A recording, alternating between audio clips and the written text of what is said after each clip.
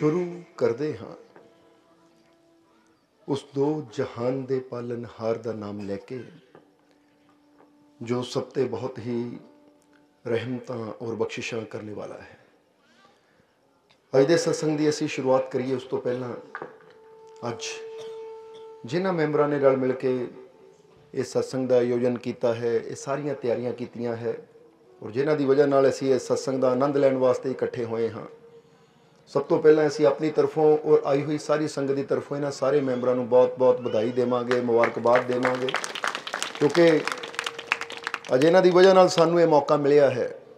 ਤਾਂ ਜਿਨ੍ਹਾਂ ਦੀ ਵਜ੍ਹਾ ਨਾਲ ਸਾਨੂੰ ਇਹ ਮੌਕਾ ਮਿਲਿਆ ਬੈਠਣ ਦਾ, ਆਪਣੇ ਉਸ ਮਾਲਿਕ ਦਾ ਗੁਣਗਾਨ ਕਰਨ ਦਾ, ਗੁਣਗਾਨ ਸੁਣਨ ਦਾ, ਤਾਂ ਆਓ ਪਹਿਲਾਂ ਉਹਨਾਂ ਦੀ ਖਾਤਰ ਅਸੀਂ ਉਸ ਮਾਲਕ ਦੇ ਚਰਨਾਂ 'ਚ ਅਰਦਾਸ ਬੇਨਤੀ ਕਰੀਏ ਕਿ ਮਾਲਕ ਇਹਨਾਂ ਸਾਰੇ ਮੈਂਬਰਾਂ ਨੂੰ ਇਸ ਨਗਰ ਨੂੰ ਖੁਸ਼ੀਆਂ, ਰਹਿਮਤਾਂ, ਬਰਕਤਾਂ ਨਾਲ ਭਰਪੂਰ ਕਰਨ, ਆਉਣ ਵਾਲਾ ਸਮਾਂ ਇਹਨਾਂ ਵਾਸਤੇ ਬਹੁਤ ਜ਼ਿਆਦਾ ਖੁਸ਼ੀਆਂ, ਕਾਮਯਾਬੀ, ਸਫਲਤਾ ਭਰਿਆ ਹੋਵੇ ਔਰ ਜਿਸ ਤਰ੍ਹਾਂ ਅੱਜ ਇਹਨਾਂ ਨੇ ਰਲ ਮਿਲ ਕੇ ਸਤਸੰਗ ਕਰਵਾਏ ਹੈ, ਮਾਲਕ ਇਹਨਾਂ ਸਾਰਿਆਂ ਨੂੰ ਇਸੇ ਤਰ੍ਹਾਂ ਹਿੰਮਤ, ਤਾਕਤ ਦਿੰਦੇ ਰਹਿਣ, ਇਹਨਾਂ ਦੇ ਕੰਮਾਂ ਕਾਰਾਂ 'ਚ ਬਰਕਤਾਂ ਪਾਣ, ਇਹਨਾਂ ਦਾ ਆਪਸੀ ਪਿਆਰ, ਮੁਹੱਬਤ, ਏਕਤਾ ਬਣੀ ਰਵੇ ਤਾਂ ਕਿ ਇਸੇ ਤਰ੍ਹਾਂ ਰਲ ਮਿਲ ਕੇ ਇਹ ਹਰ ਸਾਲ ਸਤਸੰਗ ਕਰਵਾਉਂਦੇ ਰਹਿਣ ਔਰ ਸਾਨੂੰ ਸਾਰਿਆਂ ਨੂੰ ਵੀ ਇਸੇ ਤਰ੍ਹਾਂ ਸਤਸੰਗ ਦਾ ਆਨੰਦ ਲੈਣ ਦਾ ਮੌਕਾ ਮਿਲਦਾ ਰਹੇ ਇਹ ਸਾਰੀ ਸੰਗਤ ਰਲ ਕੇ ਇਹਨਾਂ ਵਾਸਤੇ ਅਰਦਾਸ ਬੇਨਤੀ ਕਰੋ। ਕਿਉਂਕਿ ਜੇ ਸਤਸੰਗ ਇਹ ਕਰਵਾਉਂਦੇ ਰਹਿਣਗੇ ਔਰ ਸਾਨੂੰ ਸਤਸੰਗ ਦੇ ਵਿੱਚ ਆ ਕੇ ਬੈਠਣ ਦਾ ਮੌਕਾ ਮਿਲਦਾ ਰਹੇਗਾ, ਤਾਂ ਜਿਨ੍ਹਾਂ ਨੂੰ ਸਤਸੰਗ ਵਿੱਚ ਬੈਠਣ ਦਾ ਮੌਕਾ ਮਿਲਦਾ ਹੈ, ਸਤਸੰਗ ਸੁਣਨ ਦਾ ਮੌਕਾ ਮਿਲਦਾ ਹੈ, ਤਾਂ ਜੀਵਨ 'ਚ ਬਦਲਾਅ ਵੀ ਫਿਰ ਉਹਨਾਂ ਦੇ ਹੀ ਆਉਂਦਾ ਹੈ। ਕਿਉਂਕਿ ਜ਼ਿੰਦਗੀ, ਸਭ ਤੋਂ ਪਹਿਲੀ ਗੱਲ ਤਾਂ ਸਮਝ ਲੈਣਾ। ਕਿ ਅਸੀਂ ਅੱਜ ਥੋੜਾ ਜਿਹਾ ਜ਼ਿੰਦਗੀ ਨੂੰ ਪਹਿਲਾਂ ਸਮਝ ਲਈਏ। ਕਿਉਂਕਿ ਸ਼ੁਰੂਆਤ ਜ਼ਿੰਦਗੀ ਦੀ ਜਦੋਂ ਹੁੰਦੀ ਹੈ ਨਾ, ਉਦੋਂ ਹੀ ਹਰ ਚੀਜ਼ ਦੀ ਸ਼ੁਰੂਆਤ ਇੱਕ ਇਨਸਾਨ ਵਾਸਤੇ ਹੁੰਦੀ ਹੈ। ਤਾਂ ਜਦੋਂ ਇਨਸਾਨ ਦੀ ਜ਼ਿੰਦਗੀ ਗਈ, ਤਾਂ ਉਹਦੇ ਨਾਲ ਹੀ ਸਭ ਕੁਝ ਚਲਾ ਜਾਂਦਾ ਹੈ। ਇਸ ਲਈ ਅੱਜ ਦੇਖਿਆ ਹੈ ਕਿ ਇਨਸਾਨ ਹਰ ਚੀਜ਼ ਨੂੰ ਸਮਝਣ ਦੀ ਕੋਸ਼ਿਸ਼ ਕਰਦਾ ਹੈ। ਹਰ ਚੀਜ਼ ਨੂੰ ਜਾਣਨ ਦੀ ਕੋਸ਼ਿਸ਼ ਕਰਦਾ ਹੈ। ਜਿੱਦਾਂ ਹੁਣ ਫਰਜ਼ ਕਰੋ, ਤੁਸੀਂ ਕਿਸੇ ਘਰ 'ਚ ਗਏ ਹੋ। ਜੇ ਤੁਹਾਨੂੰ ਉੱਥੇ ਖਾਣ ਵਾਲੀ ਚੀਜ਼ ਕੋਈ ਚੰਗੀ ਲੱਗਦੀ ਹੈ, ਤਾਂ ਤੁਸੀਂ ਪੁੱਛਦੇ ਹੋ, ਹਾਂ ਵੀ ਇਹ ਬਣੀ ਕਿੱਦਾਂ ਹੈ? ਇਹ 'ਚ ਪਾਇਆ ਕੀ ਹੈ? ਇਹਦੇ 'ਚ ਸਵਾਦ ਕਿੱਦਾਂ ਆਇਆ? ਯਾਨੀ ਜਦੋਂ ਕੋਈ ਚੀਜ਼ ਅੱਛੀ ਲੱਗਦੀ ਹੈ ਤੇ ਅਸੀਂ ਉਹਨੂੰ ਸਮਝਣ ਦੀ, ਜਾਣਨ ਦੀ ਕੋਸ਼ਿਸ਼ ਕਰਦੇ ਹਾਂ। ਪਰ ਹੁਣ ਇੱਥੇ ਇੱਕ ਗੱਲ ਸਮਝਣੀ ਹੈ ਕਿ ਹੋਰ ਹਰ ਚੀਜ਼ ਨੂੰ ਅਸੀਂ ਜਾਣਨ ਦੀ ਕੋਸ਼ਿਸ਼ ਕਰਦੇ ਹਾਂ, ਪਰ ਕੀ ਕਦੀ ਅਸੀਂ ਆਪਣੇ ਜੀਵਨ ਨੂੰ ਸਮਝਣ ਦੀ ਕੋਸ਼ਿਸ਼ ਕੀਤੀ? ਕਿ ਕਦੀ ਆਪਣੀ ਜ਼ਿੰਦਗੀ ਨੂੰ ਸਮਝਣ ਦੀ ਕੋਸ਼ਿਸ਼ ਕੀਤੀ ਕਿ ਇਹ ਜ਼ਿੰਦਗੀ ਆ ਕਿੱਥੋਂ ਰਹੀ ਹੈ? ਔਰ ਜਦੋਂ ਦੁਨੀਆ ਤੋਂ ਜਾਣਾ ਤਾਂ ਜਾਣਾ ਕਿੱਥੇ ਹੈ ਅਸੀਂ? ਇਹ ਸਵਾਸ ਕਿੱਥੋਂ ਆ ਰਹੇ ਹੈ? ਇਹ ਸਵਾਸਾਂ ਦਾ ਦਾਤਾ ਕੌਣ ਹੈ? ਕਿਉਂਕਿ ਬੁੱਲੇ ਸ਼ਾਹ ਨੇ ਕਿਹਾ ਨਾ ਕਿ ਸਾਰ ਅਗਥੀ ਰਬ ਦਿਸਦਾ ਨੇੜੇ, ਲੋਕਾਂ ਪਾਏ ਲੰਮੇ ਝੇੜੇ, ਭੱਜ ਭੱਜ ਉਮਰ ਗਵਾਈ ਹੈ, ਗੱਲ ਲੋਕਾਂ ਰੋਲੇ ਪਾਈ ਹੈ। ਉਹ ਕਹਿੰਦੇ, ਅਗਰ ਤੂੰ ਸਵਾਸਾਂ ਨੂੰ ਹੀ ਸਮਝ ਲਵੇਂ, ਤਾਂ ਤੈਨੂੰ ਜ਼ਿੰਦਗੀ ਦੀਆਂ ਕਈ ਐਸੀਆਂ ਰਮਜਾਂ, ਕਈ ਐਸੇ ਰਾਜ ਤੇਰੇ ਸਾਹਮਣੇ ਖੁੱਲ ਜਾਣਗੇ ਕਿ ਤੇਰੀ ਜ਼ਿੰਦਗੀ 'ਚ ਕਈ ਇਦਾਂ ਦੀਆਂ ਸ਼ਕਤੀਆਂ, ਤਾਕਤਾਂ ਛੁਪੀਆਂ ਹੋਈਆਂ ਹੈ, ਕਈ ਇਦਾਂ ਦੇ ਆਨੰਦ ਛੁਪੇ ਹੋਏ ਹੈ ਕਿ ਅਗਰ ਤੂੰ ਜੀਵਨ ਨੂੰ ਸਮਝਣ ਦੀ ਕੋਸ਼ਿਸ਼ ਕਰੇ, ਆਪਣੇ ਅੰਦਰ ਨੂੰ ਸਮਝਣ ਦੀ ਕੋਸ਼ਿਸ਼ ਕਰੇ, ਤਾਂ ਤੇਰਾ ਇਹ ਜੀਵਨ ਸੁੱਖਾਂ, ਖੁਸ਼ੀਆਂ ਨਾਲ ਭਰਪੂਰ ਹੋ ਸਕਦਾ ਹੈ। ਇਸ ਲਈ ਫਿਰ ਕਵਾਂਗੇ ਕਿ ਅੱਜ ਇਨਸਾਨ ਕਿਸੇ ਅੱਛੀ ਚੀਜ਼ ਨੂੰ ਦੇਖ ਕੇ ਉਹਨੂੰ ਸਮਝਣ ਦੀ ਕੋਸ਼ਿਸ਼ ਕਰਦਾ ਹੈ, ਪਰ ਉਹਨੂੰ ਸਮਝ ਵੀ ਲਿਆ, ਫਿਰ ਵੀ ਅਸੀਂ ਇਨਸਾਨ ਦੇ ਇਨਸਾਨ ਹੀ ਰਹਿ ਗਏ। ਕੋਈ ਬਦਲਾਅ ਨਹੀਂ ਆਇਆ। ਪਰ ਜੇ ਅਸੀਂ ਆਪਣੇ ਜੀਵਨ ਦੇ ਅੰਦਰ ਛੁਪੀ ਹੋਈ ਸ਼ਕਤੀ ਨੂੰ ਸਮਝ ਲਈਏ, ਤਾਂ ਫਿਰ ਸਾਡੇ 'ਚ ਬਦਲਾਅ ਜ਼ਰੂਰ ਆਏਗਾ। ਜਿੱਦਾਂ ਇੱਕ ਬੜਾ ਪਿਆਰਾ ਇੱਕ ਸ਼ਬਦ ਹੈ ਕਿ ਜ਼ਿੰਦਗੀ ਬਹੁਤ ਖੂਬਸੂਰਤ ਹੈ। ਇਹ ਜ਼ਿੰਦਗੀ ਬਹੁਤ खूबसूरत है, इसे जरा ठीक से समझने की ज़रूरत है। ये ज़िंदगी बहुत, आवाज़ दो नाल खूबसूरत है, इसे बस ठीक से समझने की ज़रूरत है। अगर समझ लिया, अगर समझ लिया तो खुदा को पा लिया, नहीं तो ये शैतान की मूरत है। जरा समझना। ਕਿਉਂਕਿ ਜ਼ਿੰਦਗੀ ਬੜੀ ਖੂਬਸੂਰਤ ਹੈ ਖੂਬਸੂਰਤ ਕਿਉਂ ਹੈ ਅੱਜ ਪਹਿਲਾਂ ਇੱਕ ਗੱਲ ਦਾ ਤੁਹਾਨੂੰ ਪੁੱਛ ਲਈਏ ਕਿ ਇਹ ਜ਼ਿੰਦਗੀ ਖੂਬਸੂਰਤ ਲੱਗਦੀ ਕਿਹਨੂੰ ਕਿਹਨੂੰ ਹੈ ਨਹੀਂ ਤਾਂ ਕਈ ਤਾਂ ਕਹਿੰਦੇ ਜ਼ਿੰਦਗੀ ਸਾਡੀ ਕਾਦੀ ਹੈ ਜ਼ਿੰਦਗੀ ਮਿਲੀ ਕਿਉਂ ਹੈ ਸਾਨੂੰ ਪਤਾ ਨਹੀਂ ਰੱਬ ਨੇ ਪੈਦਾ ਹੀ ਕਿਉਂ ਕੀਤਾ ਪਤਾ ਨਹੀਂ ਇਹ ਜ਼ਿੰਦਗੀ ਦੇਣ ਪਿੱਛੇ ਰਾਜ ਕੀ ਹੈ ਕਾਰਨ ਕੀ ਹੈ ਹੈ ਕਿਸ ਦੇ ਮਨ ਚ ਇਦਾਂ ਦਾ ਸਵਾਲ ਕਿਉਂਕਿ ਪਹਿਲਾਂ ਕੀ ਅਸੀਂ ਆਪਣੇ ਜੀਵਨ ਨੂੰ ਅੱਛਾ ਸਮਝਦੇ ਹਾਂ ਕਿ ਨਹੀਂ ਆਪਣੇ ਜੀਵਨ ਨੂੰ ਖੂਬਸੂਰਤ ਸਮਝਦੇ ਹਾਂ ਕਿ ਨਹੀਂ ਹੁਣ ਇਹਨੂੰ ਇਦਾਂ ਸਮਝ ਲਓ ਕਿ ਜਿੱਦਾਂ ਇੱਕ ਭਿਖਾਰੀ ਬੈਠਾ ਸੀ ਅੰਨਾ। ਇਹ ਉਸ ਸਮੇਂ ਦੀ ਗੱਲ ਹੈ ਜਦੋਂ ਸਿੱਕੇ ਚੱਲਦੇ ਹੁੰਦੇ ਸੀ, ਮੋਹਰਾਂ ਚੱਲਦੀਆਂ ਹੁੰਦੀਆਂ ਸੀ, ਯਾਨੀ ਕੁਆਇਨ ਚੱਲਦੇ ਹੁੰਦੇ ਸੀ। ਜਿੱਦਾਂ ਅੱਜ ਦੇਖਦੇ ਨਾ 1 1 ਰੁਪਏ ਦਾ ਸਿੱਕਾ 2 ਰੁਪਏ ਦਾ ਸਿੱਕਾ 10 ਰੁਪਏ ਦਾ ਸਿੱਕਾ। ਇਹ ਉਸ ਵੇਲੇ ਹਾਲੇ ਕਾਗਜ਼ ਦੇ ਨੋਟ ਨਹੀਂ ਆਏ ਸੀ। ਔਰ ਕਾਗਜ਼ ਦੇ ਨੋਟ ਨਵੇਂ-ਨਵੇਂ, ਜਿੱਦਾਂ ਪਿੱਛੇ ਪੈਸੇ ਬੰਦ ਹੋਏ ਤਾਂ ਜਦੋਂ ਨਵਾਂ-ਨਵਾਂ 2000 ਦਾ ਨੋਟ ਆਇਆ ਤਾਂ ਲੋਕੀ ਕਹਿੰਦੇ, ਹਾਂ 2000 ਦਾ ਲੋਕੀ ਦੇਖਣ ਨੂੰ ਕਿੱਦਾਂ ਫੜ ਕੇ ਉਹਨੂੰ ਫੋਟੋ ਖਿੱਚ-ਖਿੱਚ ਕੇ ਪਾਉਂਦੇ ਹੁੰਦੇ ਸੀ, ਦੇਖੋ ਮੇਰੇ ਕੋਲ 2000 ਦਾ ਨੋਟ। ਕਿਉਂਕਿ ਜਦੋਂ ਕੋਈ ਚੀਜ਼ ਨਵੀਂ ਆਂਦੀ ਤਾਂ ਲੋਕਾਂ ਨੂੰ ਸ਼ੌਕ ਹੁੰਦਾ ਹੈ। ਹੁਣ ਇਹ ਉਸ ਸਮੇਂ ਦੀ ਗੱਲ ਹੈ ਜਦੋਂ ਇੱਕ ਭਿਖਾਰੀ ਇੱਕ ਰਸਤੇ ਤੇ ਬੈਠਾ ਭੀਖ ਮੰਗਦਾ ਹੁੰਦਾ ਸੀ ਔਰ ਲੋਕ ਉਹਨੂੰ ਕੋਈ 10 ਪੈਸੇ, ਕੋਈ 5 ਪੈਸੇ, ਕੋਈ 25 ਪੈਸੇ, ਕੋਈ 50 ਪੈਸੇ, ਕੋਈ ਰੁਪਈਆ ਦੇ ਕੇ ਚਲਾ ਜਾਂਦਾ ਸੀ। ਪਰ ਉਦੋਂ ਨਵਾਂ ਨਵਾਂ ਜਦੋਂ ਨਾ 100 ਦਾ ਨੋਟ ਆਇਆ, ਤਾਂ ਇੱਕ ਸੇਠ ਸੀ ਜਿਹਦੇ ਕਈ ਸਾਲਾਂ ਤੋਂ ਔਲਾਦ ਨਹੀਂ ਸੀ। ਔਰ ਜਦੋਂ ਉਹਦੇ ਔਲਾਦ ਹੋਈ ਤਾਂ ਬੜਾ ਖੁਸ਼ ਹੈ, ਉਹਨੂੰ ਖੁਸ਼ਖਬਰੀ ਮਿਲੀ। ਉਹ ਆਪਣੇ ਦੁਕਾਨ ਤੇ ਬੈਠਾ ਸੀ, ਬਹੁਤ ਬੜੀ ਦੁਕਾਨ ਜਿੱਥੇ ਬੈਠਾ ਸੀ। ਕਈ ਨੌਕਰ ਚਾਕਰ ਕੰਮ ਕਰਦੇ ਆ। ਜਦੋਂ ਖੁਸ਼ਖਬਰੀ ਗਈ, ਸੰਦੇਸ਼ ਗਿਆ ਇੱਕ ਨੌਕਰ ਦੇ ਜ਼ਰੀਏ ਕਿ ਸੇਠ ਜੀ, ਵਧਾਈ ਹੋਵੇ, ਮੁਬਾਰਕਬਾਦ, ਤੁਹਾਡੇ ਘਰ ਬੇਟੇ ਨੇ ਜਨਮ ਲਿਆ ਹੈ। ਸੇਠ ਤਾਂ ਇਦਾਂ ਖੁਸ਼ ਹੋ ਗਿਆ। ਕਿੰਨੇ ਸਾਲਾਂ ਬਾਅਦ ਮੇਰੇ ਰੱਬ ਨੇ, ਮੇਰੇ ਮਾਲਿਕ ਪਰਮਾਤਮਾ ਨੇ ਮੇਰੀ ਝੋਲੀ ਖੁਸ਼ੀਆਂ ਨਾਲ ਭਰੀ ਹੈ। ਬੜਾ ਖੁਸ਼, ਖੁਸ਼ੀ ਨਾਲ ਘਰ ਨੂੰ ਜਾ ਰਿਹਾ ਹੈ। ਤਾਂ ਜਦੋਂ ਖੁਸ਼ੀ ਨਾਲ ਘਰ ਨੂੰ ਜਾ ਰਿਹਾ ਭਿਖਾਰੀ ਦੇ ਕੋਲ ਦੀ ਗੁਜ਼ਰਿਆ ਅੱਗੇ ਵੀ ਉਹਦੇ ਕੋਲ ਦੀ ਜਾਂਦਾ ਹੁੰਦਾ ਸੀ। ਕਦੀ ਉਹਦੇ ਜੇਬ, ਉਹਦੇ ਕਟੋਰੇ ਦੇ ਵਿੱਚ ਉਹਨੇ 5 ਪੈਸੇ ਪਾ ਦੇਣੇ, ਕਦੀ 50 ਪੈਸੇ ਪਾ ਦੇਣੇ, ਕਦੀ ਰੁਪਈਆ ਪਾ ਦੇਣਾ। ਪਰ ਅੱਜ ਇੰਨਾ ਖੁਸ਼ ਹੈ। ਨਵਾਂ ਨਵਾਂ 100 ਦਾ ਨੋਟ ਆਇਆ ਸੀ, ਉਹਨੇ ਕੱਢਿਆ 100 ਦਾ ਨੋਟ ਕੋਰਾ ਕੋਰਾ, ਯਾਨੀ ਸਾਫ਼ ਸੁਥਰਾ, ਨਵਾਂ। ਔਰ ਭਿਖਾਰੀ ਦੇ ਕਟੋਰੇ 'ਚ ਪਾਣ ਦੀ ਬਜਾਏ ਉਹਦੇ ਹੱਥ 'ਚ ਫੜਾਇਆ। ਕਿਉਂਕਿ ਕਟੋਰੇ 'ਚ ਕਿਉਂ ਨਹੀਂ ਪਾਇਆ ਕਿ ਇਹਨੂੰ ਪਤਾ ਹੋਣਾ ਚਾਹੀਦਾ ਮੈਂ ਛੋਟੀ ਮੋਟੀ ਚੀਜ਼ ਨਹੀਂ। ਕਿਉਂਕਿ ਜਦੋਂ ਕਟੋਰੇ 'ਚ ਤੁਸੀਂ ਸਿੱਕਾ ਪਾਉਂਗੇ ਤਾਂ ਆਵਾਜ਼ ਆਣੀ ਹੈ ਟਨ। ਪਤਾ ਲੱਗ ਜਾਣਾ ਕੁਛ। ਕਟੋਰੇ 'ਚ ਗਿਰਿਆ ਹੈ। ਪਰ ਅੰਨੇ ਇਨਸਾਨ ਨੂੰ ਜੇ ਉਹ ਕਾਗਜ਼ ਦਾ ਨੋਟ ਰੱਖਿਆ ਤਾਂ ਆਵਾਜ਼ ਹੀ ਨਹੀਂ ਆਣੀ ਉਹਨੂੰ ਪਤਾ ਹੀ ਨਹੀਂ ਲੱਗਣਾ ਕੋਈ ਵੀ ਚੱਕ ਕੇ ਲੈ ਜਾਵੇ। ਇਸ ਲਈ ਸੇਠ ਨੇ ਉਹਦੇ ਹੱਥ 'ਚ ਫੜਾਇਆ ਕਿ ਲੈ ਬਈ, ਅੱਜ ਮੈਂ ਬਹੁਤ ਖੁਸ਼ ਹਾਂ। ਉਹ ਰੱਬ ਨੇ ਮੈਨੂੰ ਪੁੱਤਰ ਦੀ ਦਾਤ ਦਿੱਤੀ ਹੈ। ਉਹ ਖੁਸ਼ੀ ਵਿੱਚ ਮੈਂ ਤੈਨੂੰ ਆਹ ਇਨਾਮ ਦੇ ਰਿਹਾ, ਯਾਨੀ ਆਪਣੀ ਤਰਫੋਂ ਦੇ ਰਿਹਾ ਹਾਂ, ਖੁਸ਼ੀ ਵਿੱਚ। ਹੁਣ ਕਹਿ ਕੇ ਉਹਦੇ ਹੱਥ ਤੇ 100 ਦਾ ਨੋਟ ਰੱਖ ਕੇ ਹੁਣ ਸੇਠ ਕੋ ਇੰਨਾ ਸਮਾਂ ਨਹੀਂ ਸੀ ਉਹਨੂੰ ਸਮਝਾਵੇ। ਕਿਉਂਕਿ ਜਦੋਂ ਬੰਦੇ ਨੂੰ ਇਦਾਂ ਦੀ ਖੁਸ਼ੀ ਦੀ ਖਬਰ ਮਿਲਦੀ ਤਾਂ ਬੰਦੇ ਦਾ ਦਿਲ ਹੁੰਦਾ ਫਟਾਫਟ ਘਰ ਪਹੁੰਚ ਜਾਵਾਂ। ਉਹ ਫਟਾਫਟ ਉਹਦੇ ਹੱਥ 100 ਦਾ ਨੋਟ ਰੱਖ ਕੇ ਚਲਾ ਗਿਆ। ਉਸ ਲਈ ਭਿਖਾਰੀ ਨੇ ਜਦੋਂ ਐਂ ਕੀਤਾ ਨਾ, ਕਹਿੰਦਾ, ਕਾਹਦਾ ਸੇਠ? ਕੀ ਮਜ਼ਾਕ ਕਰ ਗਿਆ? ਹੈ? ਕੀ ਮਜ਼ਾਕ ਕਰ ਗਿਆ? ਆ ਕਾਗਜ਼ ਜਿਹਾ ਮੇਰੇ ਹੱਥ ਹੀ ਦੇ ਕੇ ਕਹਿ ਗਿਆ ਕਿ ਮੈਂ ਤੈਨੂੰ ਬਹੁਤ ਬੜਾ ਇਨਾਮ ਦੇ ਚੱਲਾਂ। ਉਹਨੇ ਐਦਾਂ ਇਕੱਠਾ ਕੁੱਠਾ ਕਰਕੇ ਉਦਾਂ ਹੀ ਸੁੱਟ ਦਿੱਤਾ। ਕਿਉਂਕਿ ਕਾਗਜ਼ ਦੇ ਨੋਟ ਬਾਰੇ ਉਹਨੂੰ ਪਤਾ ਸੀਗਾ ਹੀ ਨਹੀਂ। ਹੁਣ ਇੰਨੀ ਵੱਡੀ ਰਕਮ ਉਸ ਵੇਲੇ ਜਿਹੜਾ ਬੰਦਾ 5-5 ਪੈਸੇ 10-10 ਪੈਸੇ 50-50 ਪੈਸਿਆਂ ਦੀ ਖਾਤਰ ਬੈਠਾ ਰਹਿੰਦਾ ਸੀ ਸਾਰਾ ਸਾਰਾ ਦਿਨ, ਉਹਨੂੰ ਮੂਰਖ ਨੂੰ ਕੀ ਪਤਾ ਸੀ ਕਿ ਉਹਦੇ ਕੋਲ ਤਾਂ 100 ਦਾ ਨੋਟ ਆ ਗਿਆ। ਜਿੱਦਾਂ ਸਮਝ ਲਓ ਕਿ ਇੱਕ ਬੰਦਾ ਜੇ ਸ਼ਾਮ ਤੱਕ 50 ਪੈਸੇ ਜਾਂ ਰੁਪਈਆ ਇਕੱਠਾ ਕਰਦਾ ਤੇ ਇਹਦਾ ਮਤਲਬ 100 ਦਿਨਾਂ ਦਾ ਇੱਕੋ ਹੀ ਦਿਨ ਚ ਹੋ ਗਿਆ। ਕਿੱਥੇ ਮੈਂ 100 ਦਿਨ ਜਾਂ 150 ਦਿਨ ਬੈਠਣਾ ਸੀ 200 ਦਿਨ ਬੈਠਣਾ ਸੀ, ਫੇਰ ਕਿਤੇ ਜਾ ਕੇ ਫਿਰ ਵੀ ਨਹੀਂ ਇਕੱਠੇ ਹੋਣੇ ਸੀ 100 ਪਰ ਇੱਥੇ ਮੈਨੂੰ ਇੱਕ ਦਮ ਚ ਹੀ ਕਿਉਂਕਿ ਜਿਹੜਾ ਰੋਜ਼ 100 50 ਜੇ ਬੰਦਾ ਕਹੇ ਰੋਜ਼ ਮੈਨੂੰ 50 ਪੈਸੇ ਰੁਪਈਆ ਮਿਲਦਾ ਤਾਂ ਖਾਣਾ ਵੀ ਤਾਂ ਉਹਦਾ ਹੀ ਹੈ ਨਾ। ਅੱਜ ਮਿਲਿਆ ਕੱਲ ਖਰਚ ਦਿੱਤਾ। ਇਕੱਠਾ 100 ਹੁੰਦੇ ਹੁੰਦੇ ਪਤਾ ਨਹੀਂ ਕਿੰਨੀ ਜ਼ਿੰਦਗੀ ਲੱਗ ਜਾਣੀ ਸੀ। ਅੱਜ ਕੁਦਰਤ ਨੇ ਮੌਕਾ ਦਿੱਤਾ ਸੀ। ਉਸ ਨੂੰ ਹੱਥ 'ਚ ਉਹ ਕੀਮਤੀ ਨੋਟ ਆਇਆ, ਪਰ ਉਹਨੂੰ ਉਹਦੀ ਵੈਲਿਊ ਦਾ ਨਹੀਂ ਪਤਾ ਸੀ, ਉਹਦੀ ਕੀਮਤ ਦਾ ਨਹੀਂ ਪਤਾ ਸੀ। ਪਤਾ ਨਹੀਂ ਸੀ ਹੈ ਕੀ। ਇਸ ਲਈ ਉਹਨਾਂ ਇਦਾਂ ਇਕੱਠਾ ਮੁੱਠਾ ਕਰਕੇ ਸੁੱਟ ਦਿੱਤਾ। ਕਹਿੰਦੇ, ਕੀ ਮਜ਼ਾਕ ਕਰ ਗਿਆ ਮੇਰੇ ਨਾਲ? ਆ ਕਾਗਜ਼ ਜਿਹਾ ਮੇਰੇ ਹੱਥ 'ਚ ਫੜਾ ਗਿਆ। ਜਰਾ ਹੁਣ ਸਮਝਣ ਦੀ ਗੱਲ ਹੈ। ਅੱਜ ਇਹ ਭਿਖਾਰੀ ਦੀ ਇੱਕ ਕਹਾਣੀ ਸੁਣ ਕੇ ਸਾਨੂੰ ਥੋੜੀ ਬਹੁਤੀ ਹਸੀ ਜ਼ਰੂਰ ਆਏਗੀ। ਪਰ ਅਗਰ ਅਸੀਂ ਥੋੜਾ ਜਿਹਾ ਵਿਚਾਰ ਕਰੀਏ ਤਾਂ ਜੋ ਹਾਲ ਭਿਖਾਰੀ ਦਾ ਸਾਡਾ ਹਾਲ ਤਾਂ ਤੋਂ ਹੀ ਬੁਰਾ ਹੈ। ਕਿਉਂਕਿ ਭਿਖਾਰੀ ਤਾਂ ਸਿਰਫ 100 ਰੁਪਏ ਦੇ ਨੋਟ ਦੀ ਕਦਰ ਨਹੀਂ ਜਾਣਦਾ ਸੀ। ਉਹ ਤਾਂ 100 ਰੁਪਏ ਦੇ ਨੋਟ ਨੂੰ ਇਕੱਠਾ ਮੁੱਠਾ ਕਰਕੇ ਸੁੱਟ ਦਿੱਤਾ, ਕਿਉਂਕਿ ਉਹਨੂੰ ਸਮਝ ਨਹੀਂ ਸੀ ਅੰਨਾ ਸੀ। ਪਰ ਅਜ ਅ- ਆਪਣੇ ਅਗਰ ਕਰਮਾਂ ਨੂੰ ਬੰਦਾ ਦੇਖੇ, ਆਪਣੀਆਂ ਆਦਤਾਂ ਨੂੰ ਦੇਖੇ, ਤਾਂ ਅੱਜ ਇਨਸਾਨ ਅੱਖਾਂ ਵਾਲਾ ਹੁੰਦੇ ਹੋਏ ਵੀ ਆਪਣੀ ਇੰਨੀ ਕੀਮਤੀ ਜ਼ਿੰਦਗੀ ਨੂੰ ਤੋੜ ਮਰੋੜ ਕੇ ਨਸ਼ਿਆਂ ਵਿੱਚ, ਝਗੜਿਆਂ ਵਿੱਚ, ਬੁਰਾਈਆਂ ਵਿੱਚ ਹੀ ਖਤਮ ਕਰੀ ਜਾ ਰਿਹਾ ਹੈ। ਫਿਰ ਸਭ ਤੋਂ ਬੜਾ ਮੂਰਖ ਕੌਣ ਹੋਇਆ? ਕਿਉਂਕਿ ਇੱਕ ਪਾਸੇ 100 ਦਾ ਨੋਟ ਰੱਖਿਆ ਜਾਵੇ, ਚਲੋ ਅੱਜ ਦੇ ਸਮੇਂ 'ਚ ਬੰਦਾ ਕਹੇ 100 ਕੀ ਹੈ? ਅਸੀਂ ਕਹਿੰਦੇ ਇੱਕ ਪਾਸੇ 1 ਲੱਖ ਰੱਖ ਦਿੱਤਾ ਜਾਵੇ, ਤਾਂ ਦੂਜੇ ਪਾਸੇ ਤੁਹਾਡੀ ਜ਼ਿੰਦਗੀ ਹੋਵੇ ਤਾਂ ਕਿਹੜੀ ਚੀਜ਼ ਕੀਮਤੀ ਹੈ? ਕਿਹੜੀ ਚੀਜ਼ ਬੜੀ ਹੈ? ਹੁਣ ਕੋਈ ਤੁਹਾਨੂੰ ਦੇਵੇ ਨਾ ਲੱਖ ਰੁਪਇਆ ਭਾਈ, ਲੈ ਤੇਰਾ ਹੈ, ਇਹਨੂੰ ਚੱਕ ਕੇ ਖੂਹ 'ਚ ਪਾ ਦੇ। ਇਹਨੂੰ ਚੱਕ ਕੇ ਉਹ ਗੰਦਗੀ 'ਚ ਸੁੱਟ ਦੇ, ਜਿੱਦਾਂ ਫਰਜ਼ ਕਰੋ ਕਿਤੇ ਛੱਪੜ ਹੋਵੇ, ਕਿਤੇ ਕੋਈ ਗੰਦਾ ਪਾਣੀ ਹੋਵੇ, ਤਾਂ ਤੁਸੀਂ ਸਿੱਟ ਦੋਗੇ ਉੱਥੇ? ਜਵਾਬ ਦਿਓ ਸਾਨੂੰ। ਸਾਡੀ ਆਵਾਜ਼ ਕਲੀਅਰ ਹੋ ਨਾ? ਤੇ ਥੋੜਾ ਜਵਾਬ ਵੀ ਦਿਆ ਕਰੋ, ਪਤਾ ਲੱਗੇ ਤੁਹਾਡਾ ਧਿਆਨ ਵੀ ਹੋਰ ਨਾ ਅਸੀਂ ਬੋਲੀ ਜਾਈਏ, ਤੁਹਾਡਾ ਧਿਆਨ ਹੋਏ ਲੰਗਰ ਵੱਲ। ਕਿ satsang ਕਦੋਂ ਖਤਮ ਹੋਵੇ ਲੰਗਰ ਸ਼ੁਰੂ ਕਰੀਏ। ਤਾਂ ਫਿਰ ਪਤਾ ਕਿੱਦਾਂ ਲੱਗੇਗਾ ਕਿ ਤੁਹਾਡਾ ਧਿਆਨ satsang ਵੱਲ ਹੈ ਜਾਂ ਕਿਤੇ ਹੋਰ ਹੈ? ਇਸ ਕਰਕੇ ਜਦੋਂ ਕੋਈ ਗੱਲ ਪੁੱਛੀ ਜਾਵੇ ਨਾ, ਨਾਲ ਨਾਲ ਥੋੜਾ ਜਵਾਬ ਦਿਆ ਕਰੋ। ਫਿਰ ਪਤਾ ਹੈ ਕਿ ਬੰਦੇ ਦਾ ਧਿਆਨ ਗੱਲ ਵੱਲ ਹੀ ਹੈ। ਇਹ ਤਾਂ ਕਈ ਵਾਰਾ ਹੁੰਦਾ ਹੈ ਕਿ ਟੀਚਰ ਬੈਠੇ ਹੁੰਦੇ ਐ ਇੱਕ ਟੀਚਰ ਸਮਝਾ ਰਿਹਾ ਸੀ ਦਿੱਲੀ ਬਾਰੇ ਕਿ ਦਿੱਲੀ ਵਿੱਚ ਕੁਤਬ ਮੀਨਾਰ ਹੈ, ਦਿੱਲੀ ਵਿੱਚ ਲਾਲ ਕਿਲਾ ਹੈ, ਦਿੱਲੀ ਵਿੱਚ ਜਾਮਾ ਮਸਜਿਦ ਹੈ।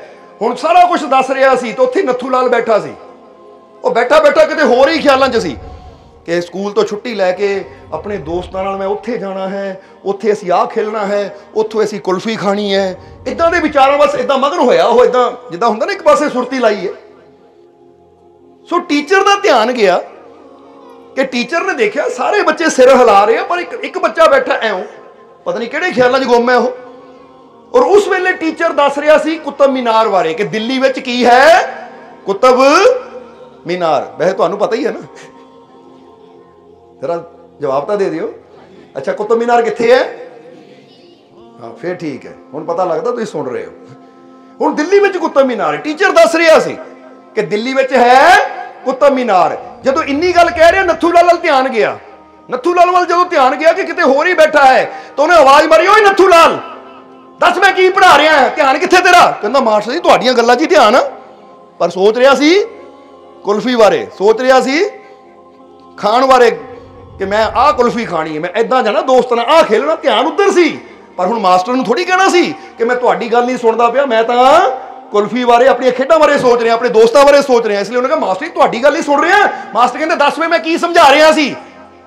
ਹੁਣ ਮਾੜੀ ਜੀ ਦਿੱਲੀ ਸੁਣੀ ਸੀ, ਮਾੜਾ ਕੁ- ਮਾੜਾ ਕੁਝ ਹੋਰ ਸੁਣਿਆ ਸੀ, ਕਿਉਂਕਿ ਮਾਸਟਰ ਨੇ ਕਿਹਾ ਸੀ ਕੁੱਤਾ ਮੀਨਾਰ, ਪਰ ਧਿਆਨ ਕਿਤੇ ਹੋਰ ਸੀ। ਇਹ ਲਈ ਕਹਿੰਦਾ, ਮਾਸਟਰ ਜੀ, ਤੁਸੀਂ ਸਮਝਾ ਰਹੇ ਸੀ, ਦਿੱਲੀ 'ਚ ਕੁੱਤਾ ਬਿਮਾਰ ਹੈ। ਦਿੱਲੀ 'ਚ ਕੁੱਤਾ ਬਿਮਾਰ ਹੈ, ਉਹਦੇ ਬਾਰੇ ਦੱਸੇ ਸੀ। ਉਹ ਮਾਸਟਰ ਕਹਿੰਦੇ, ਕਮਾਲ ਦੀ ਗੱਲ ਹੈ ਨਾ ਮੈਂ ਕੁੱਤੇ ਦੀ ਗੱਲ ਕੀਤੀ, ਨਾ ਬਿਮਾਰ ਦੀ ਗੱਲ ਕੀਤੀ, ਮੈਂ ਤਾਂ ਕੁੱਤਬ ਮੀਨਾਰ ਦੀ ਗੱਲ ਕੀਤੀ। ਓਏ, ਧਿਆਨ ਕਿੱਥੇ ਹੈ? ਅਗਰ ਪਾਸ ਹੋਣਾ ਹੈ, ਤਾਂ ਜੋ ਪੜਾਇਆ ਜਾ ਰਿਹਾ ਹੈ, ਜੋ ਸਬਕ ਦਿੱਤਾ ਜਾ ਰਿਹਾ ਹੈ, ਉਹਨੂੰ ਸਹੀ ਢੰਗ ਨਾਲ ਸੁਣੋ, ਯਾਦ ਕਰੋ। ਅੱਜ ਹੁੰਦਾ ਕੀ ਹੈ? satsang ਚ ਵੀ, ਜਾਂ ਕਈ ਵਾਰ ਦੇਖਿਆ ਨਾ, ਗੁਰੂ ਰਹਿਵਰ ਆਪਣੇ ਪ੍ਰ- ਪਵਿੱਤਰ ਵਚਨਾਂ ਦੇ ਜ਼ਰੀਏ, ਅਸੀਂ ਧਾਰਮਿਕ ਗ੍ਰੰਥਾਂ ਨੂੰ ਦੇਖ ਲਈਏ। ਕਿ ਉਹਨਾਂ ਵਿੱਚ ਲਿਖਿਆ ਕੁਝ ਹੁੰਦਾ ਹੈ, ਤਾਂ ਇਨਸਾਨ ਉਹਦਾ ਮਤਲਬ ਆਪਣੀ ਸੋਚ ਨਾਲ ਕੱਢ ਕੁਝ ਲੈ ਲੈਂਦਾ ਹੈ। ਹਰ ਜਗ੍ਹਾ ਪ੍ਰੇਮ ਦੀ ਗੱਲ ਹੈ, ਹਰ ਜਗ੍ਹਾ ਪਿਆਰ ਦੀ ਗੱਲ ਹੈ, ਹਰ ਜਗ੍ਹਾ ਇਨਸਾਨੀਅਤ ਦੀ ਗੱਲ ਹੈ। ਔਰ ਸਾਨੂੰ ਸਮਝ ਨਹੀਂ ਆਂਦੀ ਕਿ ਚਾਹੇ ਅਸੀਂ ਕੁਰਾਨ ਸ਼ਰੀਫ ਲੈ ਲਈਏ, ਬਾਈਬਲ ਲੈ ਲਈਏ, ਜਾਂ ਅਸੀਂ ਪਵਿੱਤਰ ਗੀਤਾ ਲੈ ਲਈਏ, ਜਾਂ ਗੁਰੂਆਂ ਦੀ ਬਾਣੀ ਲੈ ਲਈਏ, ਕਿਤੇ ਨਫ਼ਰਤ ਦੀ ਗੱਲ ਤਾਂ ਹੈ ਹੀ ਨਹੀਂ, ਕਿਤੇ ਝਗੜੇ ਦੀ ਗੱਲ ਤਾਂ ਹੈ ਹੀ ਨਹੀਂ, ਪਰ ਫਿਰ ਵੀ ਇਹਨਾਂ ਨੂੰ ਮੰਨਣ ਵਾਲੇ ਇੱਕ ਦੂਜੇ ਨਾਲ ਕਿੰਨੀ ਨਫ਼ਰਤ ਕਰੀ ਜਾਂਦੇ ਇਹਦਾ ਮਤਲਬ ਸਮਝ ਹੀ ਨਹੀਂ ਪਾਉਂਦੇ ਕਿ ਸਾਡੇ ਗੁਰੂ ਰਹਿਬਰ ਸਾਨੂੰ ਸਮਝਾਉਣਾ ਕੀ ਚਾਹੁੰਦੇ ਹੈ ਇਸ ਲਈ ਅਸੀਂ ਇੱਕ ਇੱਕ ਲਾਈਨ ਕਹੀਦੀ ਹੈ कि हमने हमने गीता और कुरान को कभी लड़ते नहीं देखा ਇੱਕ ਜਗ੍ਹਾ ਨਾ ਕੁਰਾਨ ਸ਼ਰੀਫ ਨੂੰ ਤਾਂ ਗੀਤਾ ਪਵਿੱਤਰ ਗੀਤਾ ਨੂੰ ਰੱਖ ਦਿਓ ਤਾਂ ਉਹ ਲੜਨਗੇ ਆਪਸ ਵਿੱਚ ਜਵਾਬ ਦਿਓ ਸਾਨੂੰ ਲੜਨਗੇ ਹੁਣ ਫਿਰ ਜਰਾ ਸਮਝਣਾ हमने गीता और कुरान को कभी लड़ते नहीं देखा और जो इनके लिए लड़ते हैं उनको कभी पढ़ते नहीं देखा ਕਿ ਜਿਹੜੇ ਲੜਨਗੇ ਨਾ ਇਹਦਾ ਮਤਲਬ ਉਹਨਾਂ ਨੇ ਸਬਕ ਅੰਦਰਲਾ ਹਾਲੇ ਤੱਕ ਪੜਿਆ ਹੀ ਨਹੀਂ ਹੈ ਕਿਉਂਕਿ ਜਿਹੜਾ ਅੰਦਰਲੇ ਸਬਕ ਨੂੰ ਪੜ ਲਏਗਾ ਉਹਦੇ ਸਾਰੇ ਝਗੜੇ ਹੀ ਖਤਮ ਕਿਉਂਕਿ ਫਿਰ ਤਾਂ ਉਹੀ ਹੋਏਗਾ ਕਿ ਜ਼ਮੀਨ ਔਰ ਆਸਮਾਨ ਅੰਦਰ ਜੋ ਵੀ ਉਹ ਮੇਰਾ ਹੀ ਤਾਂ ਹੈ ਸਮਝਦੇ ਹੋ ਕਿ ਨਹੀਂ ਰੱਬ ਨੇ ਇਹ ਗੱਲ ਕਹੀ ਹੈ ਔਰ ਸ਼੍ਰੀ ਕ੍ਰਿਸ਼ਨ ਵੀ ਕਹਿੰਦੇ ਕਿ ਅਰਜੁਨ ਪ੍ਰੇਮ ਪ੍ਰੇਮ ਹੀ ਭਗਵਾਨ ਦਾ ਰੂਪ ਹੈ ਬਾਈਬਲ ਦੇ ਅੰਦਰ ਵੀ ਆਇਆ ਲਵ ਇਜ਼ ਗੋਡ ਸੋ ਕਿੱਥੇ ਅਗਰ ਅਸੀਂ ਇਹ ਵਿਚਾਰਾਂ ਨੂੰ ਥੋੜਾ ਜਿਹਾ ਸਮਝੀਏ ਤਾਂ ਹਰ ਜਗ੍ਹਾ ਪ੍ਰੇਮ ਦੀ ਗੱਲ ਹੈ, ਪਰ ਇਨਸਾਨ ਦੀ ਸਮਝ ਦੇਖੋ ਕਿ ਇਨਸਾਨ ਦੀ ਸੁਰਤੀ ਕਿਤੇ ਹੋਰ ਹੁੰਦੀ ਹੈ, ਧਿਆਨ ਕਿਤੇ ਹੋਰ ਹੁੰਦਾ, ਤਾਂ ਮਤਲਬ ਵੀ ਉਹ ਇਦਾਂ ਹੀ ਕੱਢਦਾ ਜਿੱਦਾਂ ਨੱਥੂ ਲਾਲ ਨੇ ਕੁੱਤਾ ਮੀਨਾਰ ਦਾ ਕੱਢ ਲਿਆ, ਕੁੱਤਾ ਬਿਮਾਰ। ਫ਼ਰਕ ਹੈ ਕਿ ਨਹੀਂ? ਇਸ ਕਰਕੇ ਧਿਆਨ ਦੇ ਕੇ ਸੁਣੋ, ਧਿਆਨ ਦੇ ਕੇ ਸਮਝੋ। ਔਰ ਜਿੱਥੇ ਨਾ ਪਤਾ ਲੱਗੇ, ਉੱਥੇ ਗਲਤ ਗਲਤ ਫੈਸਲਾ ਲੈਣ ਦੀ ਬਜਾਏ ਜਾਂ ਗਲਤ ਨਿਰਣੇ ਲੈਣ ਦੀ ਬਜਾਏ ਪੁੱਛੋ ਕਿ ਸਹੀ ਕੀ ਹੈ, ਕਿਉਂਕਿ ਗਲਤ ਮਾਰਗ ਤੇ ਚੱਲਣ ਦੀ ਬਜਾਏ ਪੁੱਛ ਕੇ ਸਹੀ ਮਾਰਗ ਨੂੰ ਪਕੜ ਲਓ ਤਾਂ ਮੰਜ਼ਿਲ ਤੱਕ ਪਹੁੰਚ ਜਾਵਾਂਗੇ। ਤਾਂ ਜੇ ਅਸੀਂ ਪੁੱਛਣ ਤੋਂ ਡਰਾਂਗੇ ਔਰ ਸਾਨੂੰ ਸ਼ੰਕਾ ਹੈ ਕਿ ਅਸੀਂ ਕਿਤੇ ਗਲਤ ਤਾਂ ਨਹੀਂ, ਜੇ ਪੁੱਛਣ ਤੋਂ ਡਰਾਂਗੇ ਔਰ ਗਲਤ ਮਾਰਗ ਤੇ ਚਲਾਂਗੇ, ਤਾਂ ਆਪਣੀ ਮੰਜ਼ਿਲ ਤੋਂ ਵੀ ਦੂਰ ਹੋ ਜਾਵਾਂਗੇ, ਆਪਣਾ ਸਮਾਂ ਵੀ ਖਰਾਬ ਕਰਾਂਗੇ, ਤਾਂ ਦੁੱਖਾਂ ਪਰੇਸ਼ਾਨੀਆਂ ਦਾ ਸਾਹਮਣਾ ਵੀ ਸਾਨੂੰ ਕਰਨਾ ਪਏਗਾ। ਇਸ ਲਈ ਗੁਰੂ ਰਹਿਬਰ, ਪੀਰ ਫਕੀਰ ਇਹੀ ਚੀਜ਼, ਇਹੀ ਭੁਲੇਖੇ ਸਾਡੇ ਦੂਰ ਕਰਨ ਆਉਂਦੇ ਆ ਕਿ ਇਹ ਇਨਸਾਨ ਆਪਣੀ ਜ਼ਿੰਦਗੀ ਨੂੰ ਸਮਝ, ਆਪਣੇ ਜੀਵਨ ਨੂੰ ਸਮਝ।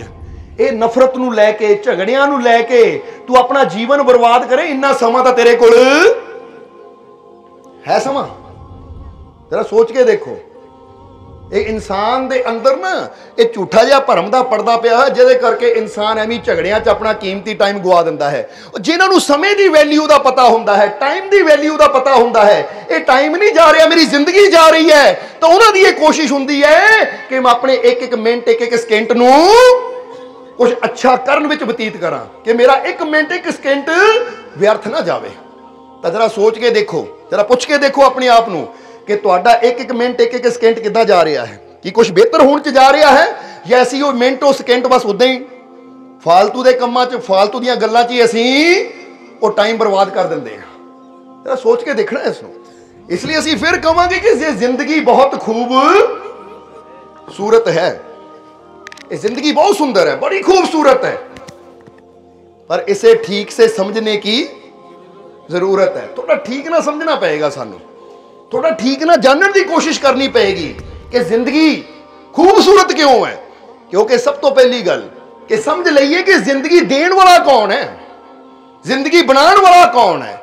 ਇਹ ਜ਼ਿੰਦਗੀ ਮਿਲਦੀ ਕਿੱਥੋਂ ਹੈ? ਤਾਂ ਜਦੋਂ ਇੰਨੀ ਗੱਲ ਸਾਡੀ ਸਮਝ ਆ ਜਾਏਗੀ ਕਿ ਦੇਣ ਵਾਲਾ ਉਹ ਮਾਲਿਕ, ਉਹ ਪ੍ਰਮਾਤਮਾ ਪ੍ਰਭੂ ਹੈ, ਤਾਂ ਜੇ ਉਹਨਾਂ ਬਣਾਈ ਹੈ, ਤਾਂ ਉਹ ਕੋਈ ਬੇਕਾਰ ਚੀਜ਼, ਫਾਲਤੂ ਦੀ ਚੀਜ਼ ਕਦੀ ਉਹ ਬਣਾਈ ਨਹੀਂ ਸਕਦਾ, ਕਿਉਂਕਿ ਇੰਨਾ ਉਹਦੇ ਕੋਲ ਟਾਈਮ ਹੀ ਕਿੱਥੇ ਹੈ ਕਿ ਉਹ ਫਾਲਤੂ ਦੀ ਚੀਜ਼ਾਂ ਬਣਾਉਂਦਾ ਫਿਰੇ।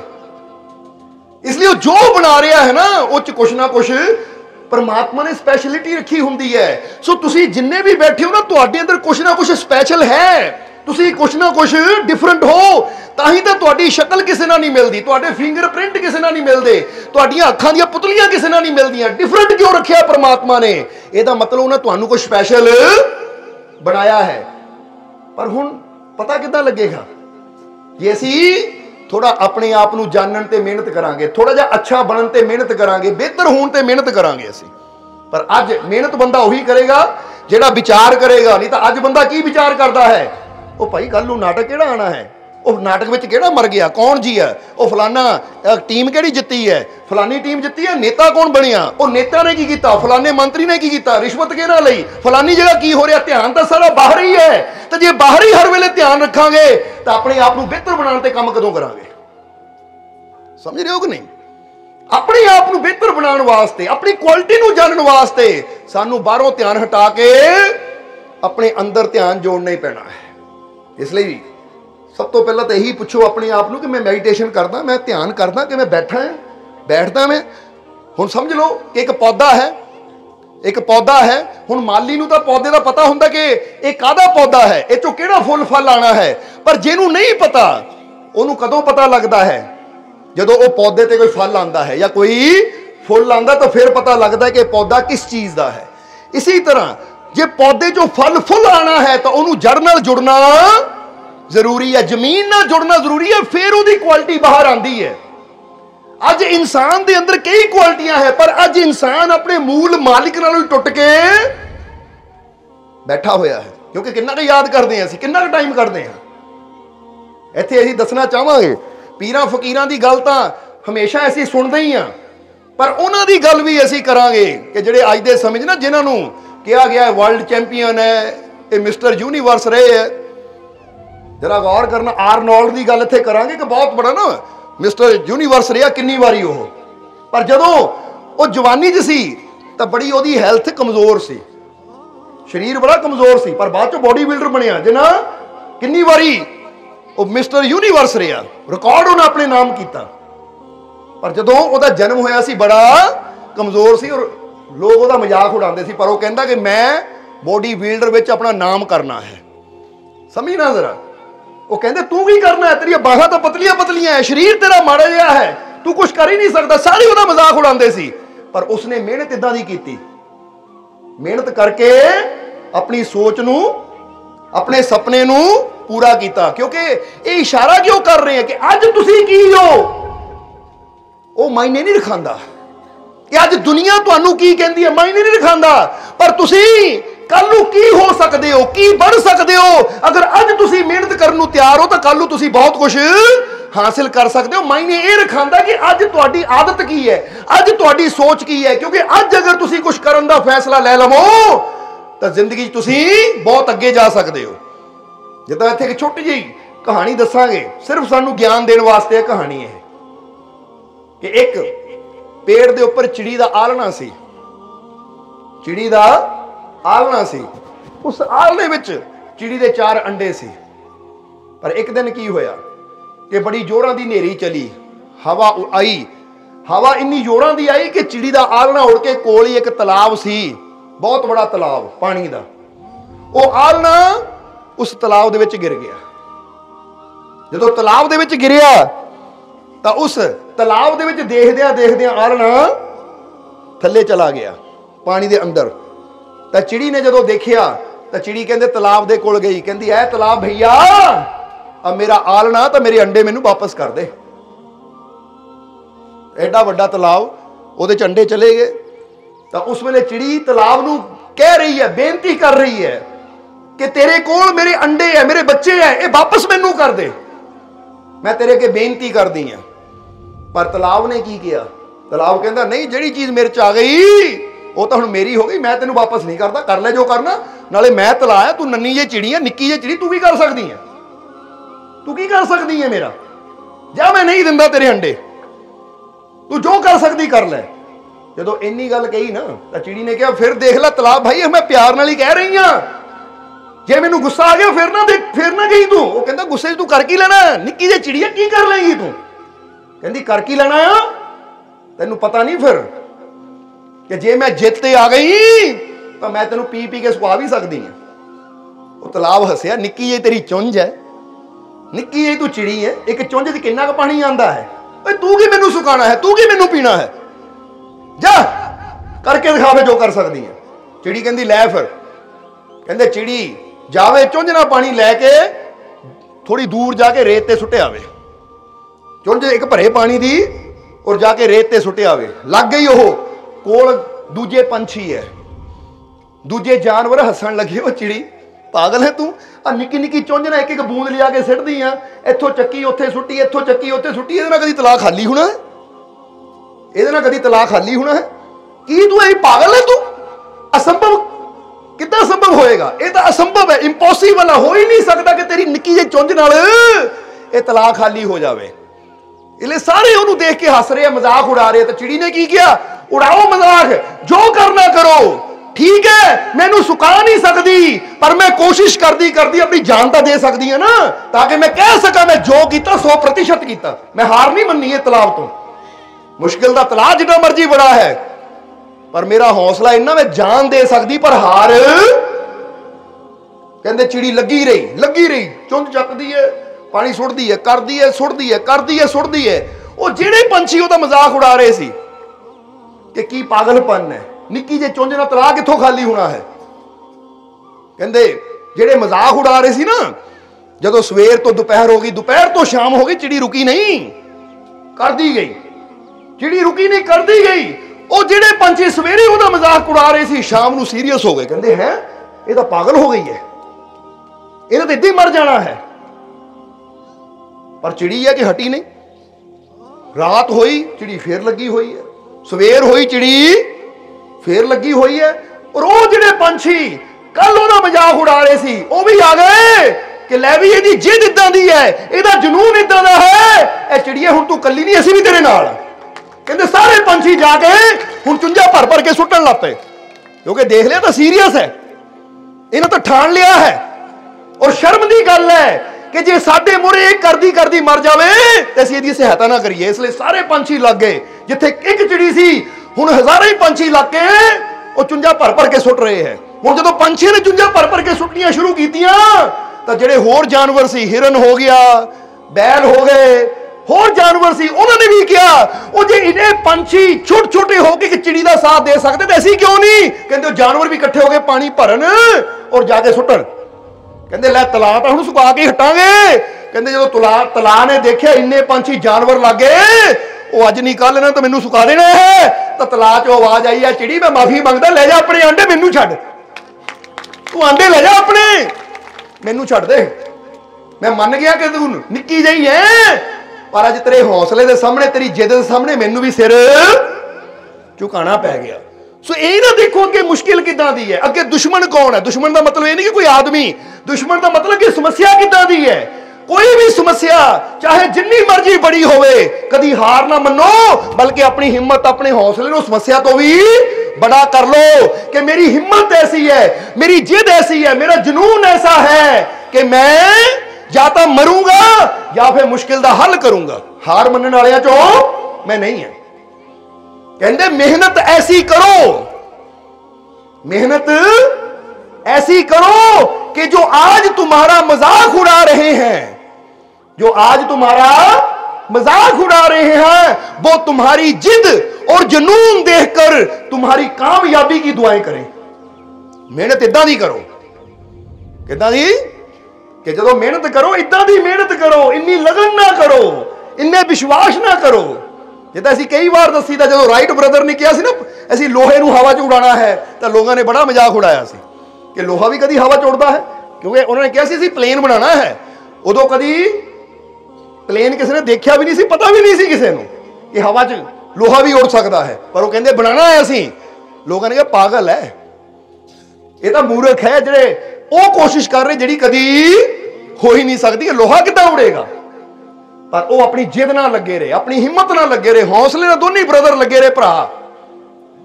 ਔਰ ਫਿਰ ਆਖਰ ਉਹਨਾਂ ਦੀ ਜਿੱਦ, ਉਹਨਾਂ ਦੀ ਜਨੂਨ, ਉਹਨਾਂ ਦੀ ਮਿਹਨਤ ਐਸੀ ਰੰਗ ਲਿਆਈ ਕਿ ਫਿਰ ਅੱਜ ਦੇਖੋ, ਅੱਜ ਉਹ ਪਲੇਨ ਦੀ ਕਿੰਨੀ ਦੁਨੀਆ ਫਾਇਦਾ ਲੈਂਦੀ ਹੈ। ਇੱਥੋਂ ਬਹਿੰਦੀ ਹੈ ਕੋਈ ਇੰਗਲੈਂਡ, ਅਮਰੀਕਾ, ਕੈਨੇਡਾ ਐਵੇਂ ਚਲਾ ਜਾਂਦਾ ਬੰਦੇ ਕੀ ਪਲੇਨ ਕੀ? ਅੱਜ ਵਿੱਚ ਬੰਦੇ ਬੈਠੇ, ਚੀਜ਼ਾਂ ਬੈਠੀਆਂ ਉੜ ਰਹੀਆਂ ਹੈ। ਹੁਣ ਇਹਨੂੰ ਕਹਿੰਦੇ ਜਿੱਦ। ਇਸ ਕਰਕੇ ਮਿਹਨਤ ਐਸੇ ਕਰੋ, ਪਰ ਅੱਜ ਬੰਦਾ ਕੀ ਹੈ? ਮਾੜੀ ਜਿਹੀ ਮੁਸ਼ਕਿਲ ਆਂਦੀ ਹੈ, ਮਾੜੀ ਜਿਹੀ ਪ੍ਰੋਬਲਮ ਆ ਗਈ, ਮਾੜੀ ਜਿਹੀ ਕੋਈ ਰੁਕਾਵਟ ਆ ਗਈ ਤਾਂ ਬੰਦਾ ਹਿੰਮਤ ਹਾਰ ਕੇ ਨਿਰਾਸ਼ ਹੋ ਕੇ ਬੈਠਦਾ ਮੇਰੇ ਤੋਂ ਨਹੀਂ ਹੋਣਾ, ਮੈਂ ਨਹੀਂ ਕਰ ਸਕਦਾ। ਇਸ ਲਈ ਚਿੜੀ ਤੋਂ ਹੀ ਸਿੱਖਿਆ ਲੈ ਲਓ ਕਿ ਜੇ ਚਿੜੀ, ਇੱਕ ਨਿੱਕੀ ਜਿਹੀ ਚਿੜੀ ਐਡੇ ਵੱਡੇ ਤਲਾਅ ਨਾਲ ਮੁਕਾਬਲਾ ਕਰ ਸਕਦੀ ਹੈ ਔਰ ਐਡੇ ਵੱਡੇ ਤਲਾਅ ਨੂੰ ਝੁਕਣ ਤੇ ਮਜਬੂਰ ਕਰ ਸਕਦੀ ਹੈ, ਤਾਂ ਫਿਰ ਤੁਸੀਂ ਕੀ ਨਹੀਂ ਕਰ ਸਕਦੇ? ਤੁਸੀਂ ਤਾਂ ਇਨਸਾਨ ਹੋ। ਅਸ਼ਰਫੁਲ ਮਖਲੂਕਾਤ ਹੋ ਤੁਸੀਂ। ਪਰਮਾਤਮਾ ਨੇ ਤੁਹਾਡੇ ਅੰਦਰੋਂ ਸ਼ਕਤੀਆਂ ਰੱਖੀਆਂ ਹੈ। ਤੁਸੀਂ ਅਸੰਭਵ ਨੂੰ ਸੰਭਵ ਕਰ ਸਕਦੇ ਹੋ। ਪਰ ਉਹ ਉਦੋਂ ਹੋਣਾ ਜਦੋਂ ਤੁਹਾਨੂੰ ਆਪਣੇ ਰੱਬ ਤੇ ਤਾਂ ਆਪਣੇ ਆਪ ਤੇ ਵਿਸ਼ਵਾਸ ਹੋਏਗਾ ਕਿ ਮੈਂ ਕਰ ਸਕਦਾ ਆ ਕਿਉਂਕਿ ਮੈਨੂੰ ਤਾਕਤ ਦੇਣ ਵਾਲਾ, ਕਾਮਯਾਬੀ ਦੇਣ ਵਾਲਾ ਮੇਰਾ ਮਾਲਿਕ ਮੇਰੇ। ਅੱਜ ਹਾਲਾਤਾਂ ਤੋਂ ਕੀ ਇਨਸਾਨ ਦੀ ਬੋਡੀ 'ਚ ਮਾੜੀ ਜਿਹੀ ਬਿਮਾਰੀ ਆ ਜਾਵੇ ਨਾ, ਬੰਦਾ ਉਤੋਂ ਡਰ ਜਾਂਦਾ ਉਤੋਂ ਨਿਰਾਸ਼ ਹੋ ਕੇ ਬਹਿ ਜਾਂਦਾ ਹੈ। ਹੁਣ ਕਿਸੇ ਦਾ ਮਾੜਾ ਸਿਰ ਹੀ ਦੁਖਦਾ ਹੋਵੇ ਨਾ ਇਦਾਂ ਰੋਣਾ ਰੋਏਗਾ। ਹਾਏ ਮੇਰਾ ਸਿਰ, ਮੇਰੀ ਜਾਨ ਲੈ ਲੈਣੀ ਇਹਨਾਂ ਮੈਂ ਤਾਂ ਮਰ ਜਾਣਾ ਇਹਦੇ ਨਾਲ। ਕੋਈ ਇੱਕ ਦਰਦ ਤੋਂ ਹੀ, ਇੱਕ ਦਰਦ ਤੋਂ ਹੀ ਇੱਕ ਸਿਰ ਦਰਦ ਕਰ ਰਿਹਾ, ਸੋਚ ਕਿ ਮੇਰੇ ਮੋਢੇ ਠੀਕ ਹੈ, ਮੇਰੀਆਂ ਕੋਹਣੀਆਂ ਠੀਕ ਹੈ, ਹੱਥ ਪੈਰ ਠੀਕ ਹੈ, ਪੇਟ ਠੀਕ ਹੈ, ਗੋਡੇ ਠੀਕ ਹੈ, ਬਾਕੀ ਸਰੀਰ ਤਾਂ ਠੀਕ ਹੈ ਨਾ, ਇਹਨੇ ਜਾਨ ਲੈ ਲੈਣੀ। ਆ ਇੱਕ ਸਿਰ ਸਮਝ ਲਓ 5% ਜਾਂ 10% ਉਹ 10% ਦੀ ਦਰਦ ਨੂੰ ਦੇਖੀ ਜਾਂਦਾ ਤਾਂ 90% ਜਿਹੜਾ ਸਰੀਰ ਠੀਕ ਹੈ, ਕਦੀ ਉਹਦਾ ਧਿਆਨ ਵੀ ਕਰਕੇ ਸ਼ੁਕਰ ਹੈ ਰੱਬ ਦਾ, ਸਿਰ ਹੀ ਦੁਖਦਾ, ਬਾਕੀ ਸਰੀਰ ਤਾਂ ਠੀਕ ਹੈ। ਜਦੋਂ ਧਿਆਨ ਠੀਕ ਵੱਲ ਜਾਏਗਾ ਤਾਂ ਦਰਦ ਵੀ ਜਲਦੀ ਦੂਰ ਹੋ ਜਾਏਗਾ, ਕਿਉਂਕਿ ਇਨਸਾਨ ਦੇ ਦੁੱਖ ਦਾ ਕਾਰਨ ਹੀ ਇਹ ਹੁੰਦਾ ਹੈ। ਕਿ ਇਨਸਾਨ ਜੋ ਕੋਲ ਹੈ, ਉਹਦੇ ਬਾਰੇ ਸ਼ੁਕਰ ਨਹੀਂ ਕਰਦਾ, ਉਹਦਾ ਆਨੰਦ ਨਹੀਂ ਲੈਂਦਾ, ਜੋ ਨਹੀਂ ਹੈ, ਉਹਦੇ ਬਾਰੇ ਸੋਚ ਸੋਚ ਕੇ ਸ਼ਿਕਾਇਤਾਂ ਕਰੀ ਜਾਂਦਾ ਤਾਂ ਦੁਖੀ? ਹੋਈ ਜਾਂਦਾ ਕਿ ਨਹੀਂ? ਦੁੱਖ ਦਾ ਕਾਰਨ ਕੀ ਹੋਰ? ਨਹੀਂ ਤਾਂ ਜ਼ਰਾ ਸੋਚ ਕੇ ਦੇਖੋ। ਜ਼ਰਾ ਵਿਚਾਰ ਕਰਕੇ ਦੇਖੋ, ਜੇ ਪੁੱਛਿਆ ਤੁਹਾਡੇ ਦੁੱਖ ਦਾ ਕਾਰਨ ਕੀ ਹੈ? ਬਸ ਮੇਰੇ ਦੁੱਖ ਉਹਦੇ ਕੋਲ ਆ ਹੈ, ਮੇਰੇ ਕੋਲ ਆ ਹੈ ਨਹੀਂ। ਸਮਝਦੇ ਹੋ ਕਿ ਨਹੀਂ? ਇਸ ਲਈ ਅਸੀਂ ਇੱਕ ਗੱਲ ਕਵਾਂਗੇ कि इंसान के दुखी होने के लिए इंसान के दुखी होने के लिए बीमारी जरूरी नहीं है इंसान के दुखी होने के लिए कोई बीमारी जरूरी नहीं है किसी की खुशी भी इंसान के दुख का कारण बन सकती है समझ दो या नहीं समझ आई ਕਿ ਤੁਹਾਡੇ ਦੁਖੀ ਹੋਣ ਵਾਸਤੇ ਤੁਹਾਨੂੰ ਕੋਈ ਬਿਮਾਰੀ ਲੱਗੇ ਉਹੀ ਜ਼ਰੂਰੀ ਨਹੀਂ ਹੈ ਕੋਈ ਤੁਹਾਡੇ ਸਾਹਮਣੇ ਕੋਠੀ ਨਵੀਂ ਖੜੀ ਕਰ ਲਾਵੇ ਨਾ ਹਾਏ, ਉਹਨਾਂ ਇਕੱਠੀ ਕਰ ਲਈ। ਮੈਂ ਦੁਖੀ ਹਾਂ ਰੱਬਾ। ਉਹਨੇ ਗੱਡੀ ਲੈ ਲਈ, ਮੈਂ ਦੁਖੀ ਹੋ ਗਿਆ। ਦੂਜੇ ਦੀ ਖੁਸ਼ੀ ਵੀ ਇਨਸਾਨ ਦੇ ਦੁੱਖ ਦਾ ਕਾਰਨ ਬਣ ਜਾਂਦੀ ਹੁਣ ਦੇਖੋ ਤਾਂ ਨਿੱਕ ਨਿੱਕੀਆਂ ਗੱਲਾਂ ਨੂੰ ਪਕੜੋ ਤਾਂ ਇਨਸਾਨ ਬਿਨਾ ਮਤਲਬ ਤੋਂ ਆਪ ਹੀ ਦੁਖੀ ਹੋਈ ਜਾਂਦਾ ਹੈ। ਉਹ ਜਿਨ੍ਹਾਂ ਗੱਲਾਂ ਤੇ ਸਾਨੂੰ ਖੁਸ਼ ਹੋਣਾ ਚਾਹੀਦਾ, ਉਹਨਾਂ ਗੱਲਾਂ 'ਚ ਵੀ ਅਸੀਂ ਦੁਖੀ ਹੋਈ ਜਾਂਦੇ। ਜਿੱਦਾਂ ਕਿ ਅਸੀਂ ਠੇਕਾ ਹੀ ਲਿਆ ਹੁੰਦਾ ਕਿ ਰਹਿਣਾ ਹੀ ਦੁਖੀ ਹੈ। ਸਮਝਦੇ ਹੋ ਕਿ ਨਹੀਂ? ਜੇ ਹੁਣ ਵੀ ਤੁਹਾਨੂੰ ਕਹੀਏ ਥੋੜਾ ਹੱਸ ਲਓ। ਅਸੀਂ ਕਿਉਂ ਹੱਸੀਏ? ਕਿਉਂ ਨਹੀਂ ਹੱਸ ਕਿਉਂ ਨਹੀਂ ਸਕਦਾ? ਲੈ 5 ਸਾਲ ਪਹਿਲਾਂ ਦਾਦੀ ਮਰ ਗਈ। ਫਲਾਨ ਉਹ ਫਲਾਣਾ ਉਹ ਮਰ ਗਿਆ, ਕਿੱਦਾਂ ਹੱਸ ਲਈਏ? ਉਹ ਮਰ ਗਿਆ 5 ਸਾਲ ਪਹਿਲਾਂ, ਤਾਂ ਹੁਣ ਕੀ ਖੁਸ਼ੀਆਂ ਉਹਦੇ ਨਾਲ ਹੀ ਚਲੀਆਂ ਗਈਆਂ? ਫਿਰ ਤਾਂ ਖਾਣਾ ਵੀ ਛੱਡ ਦੇ ਕਿ 5 ਸਾਲ ਪਹਿਲਾਂ ਮਰਿਆ, ਖਾਣਾ ਵੀ ਛੱਡਿਆ 5 ਸਾਲ ਪਹਿਲਾਂ ਤਾਂ ਮੈਂ ਵੀ ਮਰ ਗਿਆ ਨਾਲ ਹੀ। ਜੇ ਤਾਂ ਦੱਸਿਆ ਨਾ ਨੱਥੂ ਲਾਲ। ਨੱਥੂ ਲਾਲ ਗਿਆ ਕਿਤੇ ਮਾਤਮ ਤੇ, ਉਹਨਾਂ ਦੀ ਬੁੜੀ ਮਰ ਗਈ ਸੀ ਵਿਚਾਰੀ। ਬੁੜੀ ਮਰ ਗਈ ਸੀ। ਤਾਂ ਉੱਥੇ ਬੈਠੀਆਂ ਧੀਆਂ ਰੋ ਰਹੀਆਂ ਹੈ। ਉਹਨੇ ਬੱਚੇ ਰੋ ਰਹੇ ਹੈ। ਉਹ ਬੇਬੇ, ਮੈਨੂੰ ਨਾਲ ਲੈ ਜਾਂਦੀ। ਕੋਈ ਕਹਿੰਦਾ, ਮੈਨੂੰ ਵੀ ਨਾਲ ਲੈ ਜਾਂਦੀ, ਕੱਲੀ ਛੱਡ ਗਈਆਂ। ਮੈਨੂੰ ਇੱਥੇ ਇਦਾਂ ਕਰ ਗਈਆਂ, ਤੇ ਨੱਥੂ ਲਾਲ ਕਹਿੰਦਾ, ਬਸ ਕਰੋ, ਉਹ ਬੇਬੇ ਮਰੀ ਆ, ਕੋਈ ਟਾਟਾ ਸੁਫਾਰੀ ਲੈ ਕੇ ਸੈਰ ਤੇ ਥੋੜੀ ਗਈ ਹੈ, ਤੁਹਾਨੂੰ ਨਾਲ ਲੈ ਜਾਂਦੀ। ਇਹ ਘੁੰਮਣ ਥੋੜੀ ਗਈ ਹੈ ਕਿਤੇ, ਮੈਨੂੰ ਲੈ ਜਾਂਦੀ, ਮੈਨੂੰ ਲੈ ਜਾਂਦੀ ਕਰੀ ਜਾਂਦੇ। ਹੁਣ ਜਿਹੜਾ ਚਲਾ ਗਿਆ, ਉਹਨਾਂ ਤਾਂ ਜਾਣਾ ਹੀ ਹੈ। ਤੁਹਾਡੇ ਰੋਣ ਨਾ ਕਰਨ ਨਾਲ ਕੀ ਹੋਣਾ ਹੈ? ਇਹ ਸੰਸਾਰ ਕਿਸੇ ਦੇ ਜਾਣ ਨਾਲ ਰੁਕ ਜਾਂਦਾ ਹੈ। ਪਰ ਅਸੀਂ ਆਪਣੀ ਸੋਚ ਨੂੰ ਉੱਥੇ ਅਟਕਾ ਕੇ ਆਪਣੀਆਂ ਆਉਣ ਵਾਲੀਆਂ ਖੁਸ਼ੀਆਂ ਨੂੰ ਜ਼ਰੂਰ ਗਵਾ ਦਿੰਦੇ ਆ। ਅਗਰ ਸੋਚੀਏ ਕਿ ਉਹ ਚਲਾ ਗਿਆ, ਮੇਰੇ ਰੋਣ ਨਾਲ ਵੀ ਕੁਝ ਨਹੀਂ ਹੋਣਾ, ਰੋਟੀ ਖਾਣ, ਪੀਣ, ਛੱਡਣ ਨਾਲ ਕੁਝ ਨਹੀਂ ਹੋਣਾ। ਕਿਉਂਕਿ ਜਿਹੜਾ ਆਇਆ, ਉਸਨੇ ਜਾਣਾ ਤਾਂ ਹੈ ਹੀ। ਹੁਣ ਇਹਨੂੰ ਮੈਂ ਰੱਬ ਦਾ ਭਾਣਾ ਮੰਨ ਕੇ ਸ਼ੁਕਰ ਕਰਾਂ, ਤਾਂ ਆਉਣ ਵਾਲੀ ਅਗਲੀ ਜ਼ਿੰਦਗੀ ਦੀ ਤਿਆਰੀ ਕਰਾਂ।